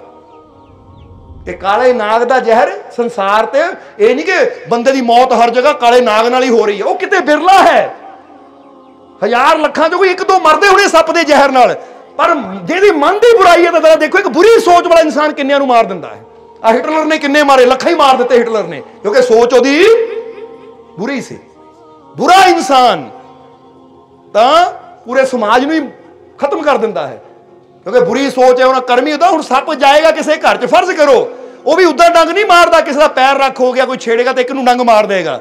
ਪਰ ਬੁਰੀ ਸੋਚ ਵਾਲਾ ਇਨਸਾਨ, ਉਹ ਇਦਾਂ ਘਰ 'ਚ ਚੋਰੀ ਕਰੇਗਾ, ਠਗੀ ਕਰੇਗਾ ਕਿ ਘਰਦਿਆਂ ਦੀ ਜ਼ਿੰਦਗੀ ਬਰਬਾਦ ਕਰ ਦੇਗਾ ਸਮਝ ਆ ਰਹੀ ਕਿ ਨਹੀਂ? ਇਸ ਕਰਕੇ ਗੁਰੂਆਂ ਰਹਿਬਰਾਂ ਦੇ ਵਚਨਾਂ 'ਚ ਇਸ਼ਾਰੇ ਹੁੰਦੇ ਕਿ ਸਮਝੋ ਆਪਣੀ ਜ਼ਿੰਦਗੀ ਨੂੰ। ਕੁਝ ਅੱਛਾ ਕਰਨ ਵਾਸਤੇ ਦੁਨੀਆ ਤੇ ਅਸੀਂ ਆਏ ਆ। ਇਸ ਕਰਕੇ ਇਦਾਂ ਦੀ ਜ਼ਿੰਦਗੀ ਬਣਾਓ ਕਿ ਇਹ ਚੋਂ ਖੁਸ਼ੀਆਂ ਦਾ ਸੰਗੀਤ ਨਿਕਲੇ। ਇਹ ਚੋਂ ਕੋਈ ਅੱਛਾ ਸੰਗੀਤ ਨਿਕਲੇ। ਹੁਣ ਇੱਥੇ ਵੀ ਬੈਠੇ ਹੋ ਨਾ ਇਦਾਂ ਉੱਠਣਾ ਇਦਾਂ ਬੈਠਣਾ ਇਦਾਂ ਗੱਲ ਕਰਨੀ ਕਿ ਅਗਲੇ ਨੂੰ ਤੁਹਾਨੂੰ ਮਿਲ ਕੇ ਖੁਸ਼ੀ ਹੋਵੇ। ਇਹ ਨਹੀਂ ਕਿ ਘੂਰੀਏ ਵੱਟ ਕੇ ਦੇਖੋ ਅਗਲਾ ਕਹੇ, ਬੰਦਾ ਕਿਦਾਂ ਦਾ ਹੈ? ਕਿਉਂਕਿ ਅੱਜ ਹੁੰਦਾ ਕੀ ਹੈ ਅੱਜ ਬੰਦਾ ਆਪਣੀ ਕਰਨੀ ਨਾਲ ਹੀ ਸਾਬਿਤ ਕਰ ਦਿੰਦਾ ਕਿ ਮੇਰੇ ਅੰਦਰ ਪਿਆਰ ਹੈ ਜਾਂ ਮੇਰੇ ਅੰਦਰ ਜ਼ਹਿਰ ਭਰਿਆ ਹੋਇਆ ਹੈ। ਕਿਉਂਕਿ ਜਿਹਦੇ ਅੰਦਰ ਗੁੱਸੇ ਦਾ ਜ਼ਹਿਰ ਹੈ ਨਾ, ਮਾੜੀ ਜਿਹੀ ਗੱਲ ਤੇਰੀ ਹਿੰਮਤ ਕਿਦਾਂ ਪਤਾ ਮੈਂ ਕੌਣ ਹੈ? ਆ ਪਤਾ ਭਾਈ, ਤੂੰ ਮਿੱਟੀ ਹੈ ਤਾਂ ਮਿੱਟੀ 'ਚ ਜਾਣਾ। ਹੋਰ ਕੀ ਹੈ ਤੂੰ? ਸਮਝ ਲੈਣਾ ਸਾਰਿਆਂ ਨੇ। ਕਿਉਂਕਿ ਇਨਸਾਨ ਆਪਣੇ ਨਾ, ਕਹਿੰਦੇ ਜਿਸ ਮਰਜ਼ੀ ਸਟੇਜ ਤੇ ਬਹਿ ਜਾਵੇ, ਮਾਣ ਨਾ ਕਰੇ, ਹੰਕਾਰ ਨਾ ਕਰੇ ਕਦੀ ਵੀ। ਇਹ ਗੱਲ ਹਮੇਸ਼ਾ ਯਾਦ ਰੱਖਣਾ, ਕਿਉਂਕਿ ਸਭ ਤੋਂ ਬੜੀ ਤਾਕਤ ਜਿਹੜਾ ਉਠਾ ਸਕਦਾ, ਉਹ ਗਿਰਾ ਵੀ ਸਕਦਾ ਹੈ। ਇਸ ਕਰਕੇ ਕਹਿੰਦੇ, ਉਸ ਮਾਲਿਕ ਦੇ ਅੱਗੇ ਹਮੇਸ਼ਾ ਸ਼ੁਕਰ ਕਰੀਏ ਕਿ ਜਿਸ ਤਰ੍ਹਾਂ ਜੇ ਸੁਗਰੀਵ ਕਹਿੰਦਾ, ਮੇਰੀ ਜਿੱਤ ਹੈ, ਤਾਂ ਫੇ ਹੰਕਾਰ ਹੋਣਾ ਸੀ। ਪਰ ਉਹਨਾਂ ਕਿਹਾ, ਇਹ ਜਿੱਤ ਮੇਰੀ ਨਹੀਂ ਹੈ, ਇਹ ਮੇਰੇ ਰਾਮ ਦੀ ਜਿੱਤ ਹੈ। ਇਸ ਤਰ੍ਹਾਂ ਹੀ ਸਮਝਣਾ ਹੈ ਸੀ ਵੀ ਕਿ ਇਨਸਾਨ ਨੂੰ ਉਹ ਮਾਲਿਕ ਜਿਸ ਵੀ ਮੁਕਾਮ ਤੇ ਲੈ ਜਾਵੇ, ਕਦੀ ਮਾਣ ਚ ਆ ਕੇ, ਇਹ ਨਾ ਕੋ ਮੈਂ ਬਿਹਤਰ ਤਾਂ ਬਾਕੀ ਸਾਰੇ, ਮੇਰੇ ਸਾਹਮਣੇ ਹੈ ਹੀ ਕੁਝ ਨਹੀਂ, ਮੰਨਦਾ ਹੀ ਇਹਨਾਂ ਨੂੰ ਕੁਝ ਨਹੀਂ। ਤਾਂ ਰੱਬ ਕਹਿੰਦਾ ਇਦਾਂ ਦਾ ਹੰਕਾਰ ਨਾ ਕਰੀ, ਕਿਉਂਕਿ ਤੈਨੂੰ ਚੜਾਈਆਂ ਚੜਾਉਣ ਵਾਲਾ ਮੈਂ ਆ, ਤਾਂ ਜੇ ਤੂੰ ਹੰਕਾਰ ਕਰੇਗਾ, ਤਾਂ ਗਿਰਨਾ ਵੀ ਬੜੀ ਬੁਰੀ ਤਰ੍ਹਾਂ ਹੈ, ਕਿਉਂਕਿ ਜਿੰਨੀ ਜ਼ਿਆਦਾ ਉਚਾਈ ਤੇ ਹੁੰਦਾ ਨਾ, ਜਦੋਂ ਗਿਰਦਾ ਤਾਂ ਸੱਟ ਵੀ ਉਨੀ ਲੱਗਦੀ ਹੈ। ਇਸ ਲਈ ਆਪਣੇ ਮਾਲਿਕ ਤੋਂ, ਕਿਉਂਕਿ ਡੋਰੀ ਉਹਦੇ ਹੱਥ 'ਚ ਹੈ। ਜਿਹਦਾ ਪਤੰਗ ਦੀ ਡੋਰ ਹੁੰਦੀ ਨਾ, ਤਾਂ ਜੇ ਪਤੰਗ ਨੂੰ ਮਾਣ ਆ ਜਾ ਮੈਂ ਚੜਨ ਵਾਲੀ ਆ ਅੱਛਾ, ਤੂੰ ਚੜਨ ਲਈ ਲੈ ਮੈਂ ਡੋਰ ਕੱਟ ਦਿੰਦਾ ਫਿਰ। ਤਾਂ ਫਿਰ ਐ ਐ ਕਰਦੀ, ਪਤਾ ਨਹੀਂ ਕਿਹੜੇ ਪੇੜਾਂ ਤੇ ਫਸੀ ਹੋਣੀ ਆ ਉਹ। ਤਾਂ ਜੇ ਹੋਵੇ ਕਿ ਮੈਂ ਤਾਂ ਸਿਰਫ ਜਰੀਆ ਆ ਚੜਾਉਣ ਵਾਲਾ ਤਾਂ ਥੱਲੇ ਖੜਾ ਹੈ। ਸਮਝਦੇ ਹੋ ਕਿ ਨਹੀਂ? ਇੱਥੇ ਤੁਸੀਂ ਵੀ ਇਹੀ ਸਮਝ ਲਓ ਕਿ ਮੈਂ ਵੀ ਪਤੰਗ ਆ ਲੱਗੀਆਂ ਨੇ ਮੋਜਾਂ। ਹੁਣ ਲਾਈ ਰੱਖੀ ਸੋਹਣਿਆ, ਚੰਗੀਆਂ ਜਾਂ ਮੰਦਿਆਂ। ਨਿਭਾਈ ਰੱਖੀ ਸੋਹਣਿਆ। ਔਰ ਇੱਥੇ ਇਹ ਵੀ ਗੱਲ ਕਹੀ ਹੈ ਕਿ ਮੇਰੀ ਚੜੀ ਹੋਈ ਗੁੱਡੀ ਨੂੰ ਚੜਾਈ ਰੱਖੀ ਸੋਹਣੇ, ਕਿ ਤੇਰੇ ਕਰਕੇ ਹੀ ਚੜੀ ਹੈ। ਜੇ ਚੜੀ ਹੈ ਤਾਂ ਡੋਰ ਨਾ ਛੱਡੀ, ਕਿਉਂਕਿ ਜੇ ਤੂੰ ਡੋਰ ਛੱਡ ਦਿੱਤੀ, ਤਾਂ ਥੱਲੇ ਆਂਦਿਆਂ ਟਾਈਮ ਹੀ ਨਹੀਂ ਲੱਗਣਾ ਫਿਰ। ਇਸ ਲਈ ਆਪਣੇ ਇਹ ਰਹਿਮਤ ਦੀ ਡੋਰ, ਆਪਣੇ ਵਿਸ਼ਵਾਸ ਦੀ ਡੋਰ ਮਾਲਿਕ ਨਾਲ ਅਗਰ ਜੋੜਾਂਗੇ ਤਾਂ ਰਹਿਮਤ ਦੀ ਡੋਰ ਫੜ ਕੇ ਰੱਖੇਗਾ ਕਿ ਲੈ ਫਿਰ ਮੇਰੀ ਰਹਿਮਤ ਸਦਾ ਤੇਰੇ ਨਾਲ ਹੈ। ਇਸ ਲਈ ਆਪਣੇ ਮਾਲਿਕ ਤੇ ਵਿਸ਼ਵਾਸ ਰੱਖੀਏ। ਆਪਣੇ ਮਾਲਿਕ ਤੇ ਯਕੀਨ ਰੱਖੀਏ। ਔਰ ਇਹ ਜ਼ਿੰਦਗੀ ਦੇ ਵਿੱਚ ਜਿੱਦਾਂ ਫਿਰ ਕਵਾਂਗੇ, ਕੋਈ ਮੁਸ਼ਕਿਲ, ਕੋਈ ਪ੍ਰੋਬਲਮ ਆਵੇ ਤਾਂ ਡਰਨਾ ਨਹੀਂ ਹੈ। ਚਿੰਤਾ ਨਹੀਂ ਕਰਨੀ, ਬਲਕਿ ਆਪਣੇ ਮਾਲਿਕ ਤੇ ਵਿਸ਼ਵਾਸ ਰੱਖਣਾ ਹੈ ਕਿ ਮੇਰਾ ਮਾਲਿਕ ਮੇਰੇ, ਮੈਂ ਹਰ ਮੁਸ਼ਕਿਲ ਦਾ ਸਾਹਮਣਾ ਕਰਨ ਨੂੰ ਤਿਆਰ ਹਾਂ ਕਿਉਂਕਿ ਮੇਰਾ ਮਾਲਿਕ ਮੇਰੇ, ਮੈਂ ਹਰ ਦੁੱਖ ਨਾਲ ਲੜਨ ਨੂੰ ਤਿਆਰ ਹਾਂ ਕਿਉਂਕਿ ਮੇਰਾ ਮਾਲਿਕ ਮੇਰੇ, ਮੈਂ ਹਰ ਮੁਸੀਬਤ ਨੂੰ ਹਰਾਉਣ ਨੂੰ ਤਿਆਰ ਹਾਂ ਕਿਉਂਕਿ ਮੈਨੂੰ ਜਿਤਾਉਣ ਵਾਲਾ ਮੇਰਾ ਮਾਲਿਕ ਮੇਰੇ। ਮੈਂ ਹਰ ਦੁੱਖ ਦਾ ਅੰਤ ਕਰਨ ਨੂੰ ਤਿਆਰ ਹਾਂ ਕਿਉਂਕਿ ਮੈਨੂੰ ਕਾਮਯਾਬੀ ਦੇਣ ਵਾਲਾ ਮੇਰਾ ਮਾਲਿਕ ਮੇਰੇ ਇਹ ਵਿਸ਼ਵਾਸ ਰੱਖਣਾ, ਅੱਜ ਤੋਂ ਸਾਰੇ ਡਰ ਛੱਡੋ। ਚਿੰਤਾਵਾਂ ਛੱਡੋ, ਅਗਰ ਜੀਵਨ 'ਚ ਕੋਈ ਪ੍ਰੋਬਲਮ ਹੈ ਤਾਂ ਡਰੋ ਨਾ ਕਿ ਪ੍ਰੋਬਲਮ ਮੇਰੀ ਜਾਨ ਨਾ ਲੈ ਲਵੇ। ਬਲਕਿ ਵਿਸ਼ਵਾਸ ਰੱਖੋ ਕਿ ਹੁਣ ਮੈਨੂੰ ਮੇਰੇ ਮਾਲਿਕ ਦਾ ਸਾਥ ਮਿਲ ਗਿਆ ਹੈ। ਹੁਣ ਪ੍ਰੋਬਲਮ ਮੈਨੂੰ ਨਹੀਂ, ਮੈਂ ਪ੍ਰੋਬਲਮ ਨੂੰ ਖਤਮ ਕਰਨਾ ਹੈ। ਸਮਝਦੇ ਹੋ ਕਿ ਨਹੀਂ? ਇਹ ਵਿਸ਼ਵਾਸ ਰੱਖਣਾ ਆਪਣੇ ਅੰਦਰ। ਕਿ ਹੁਣ ਇਹ ਮੁਸ਼ਕਿਲ ਮੈਨੂੰ ਨਹੀਂ ਹਰਾਏਗੀ। ਬਲਕਿ ਹੁਣ ਮੈਨੂੰ ਸਾਥ ਮਿਲ ਗਿਆ ਆਪਣੇ ਮਾਲਿਕ ਦਾ, ਉਹਦੀ ਰਹਿਮਤ ਦਾ। ਹੁਣ ਮੈਂ ਬੜੀਆਂ ਬੜੀਆਂ ਮੁਸ਼ਕਿਲਾਂ ਨੂੰ ਵੀ ਹਰਾਣਾ ਹੈ। ਬੋਲੋ, ਸਮਝਦੇ ਹੋ ਕਿ ਨਹੀਂ? ਇਸ ਲਈ ਆਓ ਆਪਣੇ ਅੰਦਰ ਇਹ ਵਿਸ਼ਵਾਸ ਪੈਦਾ ਕਰੀਏ। ਔਰ ਹੁਣ ਆਖਰਲੇ ਵਚਨਾਂ 'ਚ ਕਹਿ ਦਈਏ ਕਿ ਮੈਨੂੰ ਆਪਣੇ ਮਾਲਿਕ ਤੇ ਪੂਰਾ ਮੈਨੂੰ ਆਪਣੇ ਮਾਲਿਕ ਤੇ ਪੂਰਾ ਮੈਨੂੰ ਆਪਣੇ ਮਾਲਿਕ ਤੇ ਪੂਰਾ। ਮੇਰੀਆਂ ਝੋਲੀਆਂ ਖੁਸ਼ੀਆਂ ਨਾਲ, ਮੇਰੀਆਂ ਝੋਲੀਆਂ ਖੁਸ਼ੀਆਂ ਨਾਲ, ਮੇਰੀਆਂ ਝੋਲੀਆਂ ਖੁਸ਼ੀਆਂ ਨਾਲ, ਮੇਰੀਆਂ ਝੋਲੀਆਂ ਰਹਿਮਤਾਂ ਨਾਲ। ਮੇਰੀਆਂ ਝੋਲੀਆਂ ਰਹਿਮਤਾਂ ਨਾਲ ਮੇਰੀਆਂ ਝੋਲੀਆਂ ਰਹਿਮਤਾਂ ਨਾਲ ਮੇਰੇ ਸਾਰੇ ਦੁੱਖ ਦੂਰ ਮੇਰੇ ਸਾਰੇ ਦੁੱਖ ਦੂਰ ਮੇਰੇ ਸਾਰੇ ਦੁੱਖ ਦੂਰ ਮੇਰਾ ਮਾਲਿਕ ਮੇਰੇ ਮੇਰਾ ਮਾਲਿਕ ਮੇਰੇ ਮੇਰਾ ਮਾਲਿਕ ਮੇਰੇ ਮੈਂ ਬਹੁਤ ਮੈਂ ਬਹੁਤ ਮੈਂ ਬਹੁਤ ਖੁਸ਼ੀ ਆ ਗਈ ਆ ਗਈ ਆ ਗਈ ਆ आ गई आ गई आ गई। मेरी हिम्मत बढ़ गई बढ़ गई बढ़ गई बढ़ गई। मेरा विश्वास बढ़ गया बढ़ गया बढ़ गया बढ़ गया। बस ये विश्वास और हिम्मत रूप बधा के रखना है तो फिर बड़े बड़े मैदान भी तुम फतेह करते जाओगे, और कभी कोई कमी नहीं आएगी। ਔਰ ਹੁਣ ਇਹਨਾਂ ਵਚਨਾਂ ਦੇ ਨਾਲ ਹੀ ਅਸੀਂ ਅੱਜ ਦੇ ਸਤਸੰਗ ਦੀ ਸਮਾਪਤੀ ਕਰਾਂਗੇ ਔਰ ਅੰਤ ਵਿੱਚ ਇਹੀ ਉਸ ਮਾਲਕ ਦੇ ਚਰਨਾਂ 'ਚ ਅਰਦਾਸ ਬੇਨਤੀ ਕਰਾਂਗੇ ਕਿ ਮਾਲਕ ਤੁਹਾਨੂੰ ਸਭ ਨੂੰ ਹਿੰਮਤ ਦੇਣ, ਤਾਕਤ ਦੇਣ ਔਰ ਤੁਹਾਡੇ ਅੰਦਰ ਜੋ ਡਰ ਹੈ, ਚਿੰਤਾਵਾਂ ਹੈ, ਐਵੇਂ ਨਿਰਾਸ਼ ਹੋ ਕੇ, ਉਦਾਸ ਹੋ ਕੇ ਬੈਠੇ ਰਹਿੰਦੇ ਤੁਹਾਡੀ ਨਿਰਾਸ਼ਾ, ਉਦਾਸੀ ਖਤਮ ਹੋਵੇ ਔਰ ਤੁਹਾਡੇ ਅੰਦਰ ਉਹ ਜੋਸ਼, ਉਹ ਹਿੰਮਤ, ਉਹ ਹੌਸਲਾ ਆਵੇ, ਉਹ ਆਪਣੀ ਮੰਜ਼ਿਲ ਨੂੰ ਪਾਣ ਦਾ, ਉਹ ਜਿਹਦੋ ਜਨੂਨ ਆਵੇ। ਕਿ ਤੁਸੀਂ ਆਪਣੇ ਮਾਲਕ ਦਾ ਇੰਨਾ ਵਿਸ਼ਵਾਸ ਰੱਖੋ ਕਿ ਔਖੀ ਤੋਂ ਔਖੀ ਮੰਜ਼ਿਲ ਵੀ ਤੁਸੀਂ ਆਸਾਨੀ ਨਾਲ ਪਾ ਸਕੋ। ਇਦਾਂ ਦਾ ਵਿਸ਼ਵਾਸ ਹੋਵੇ ਤੁਹਾਡੇ ਅੰਦਰ ਇਦਾਂ ਦੀ ਹਿੰਮਤ ਹੋਵੇ ਤੁਹਾਡੇ ਅੰਦਰ।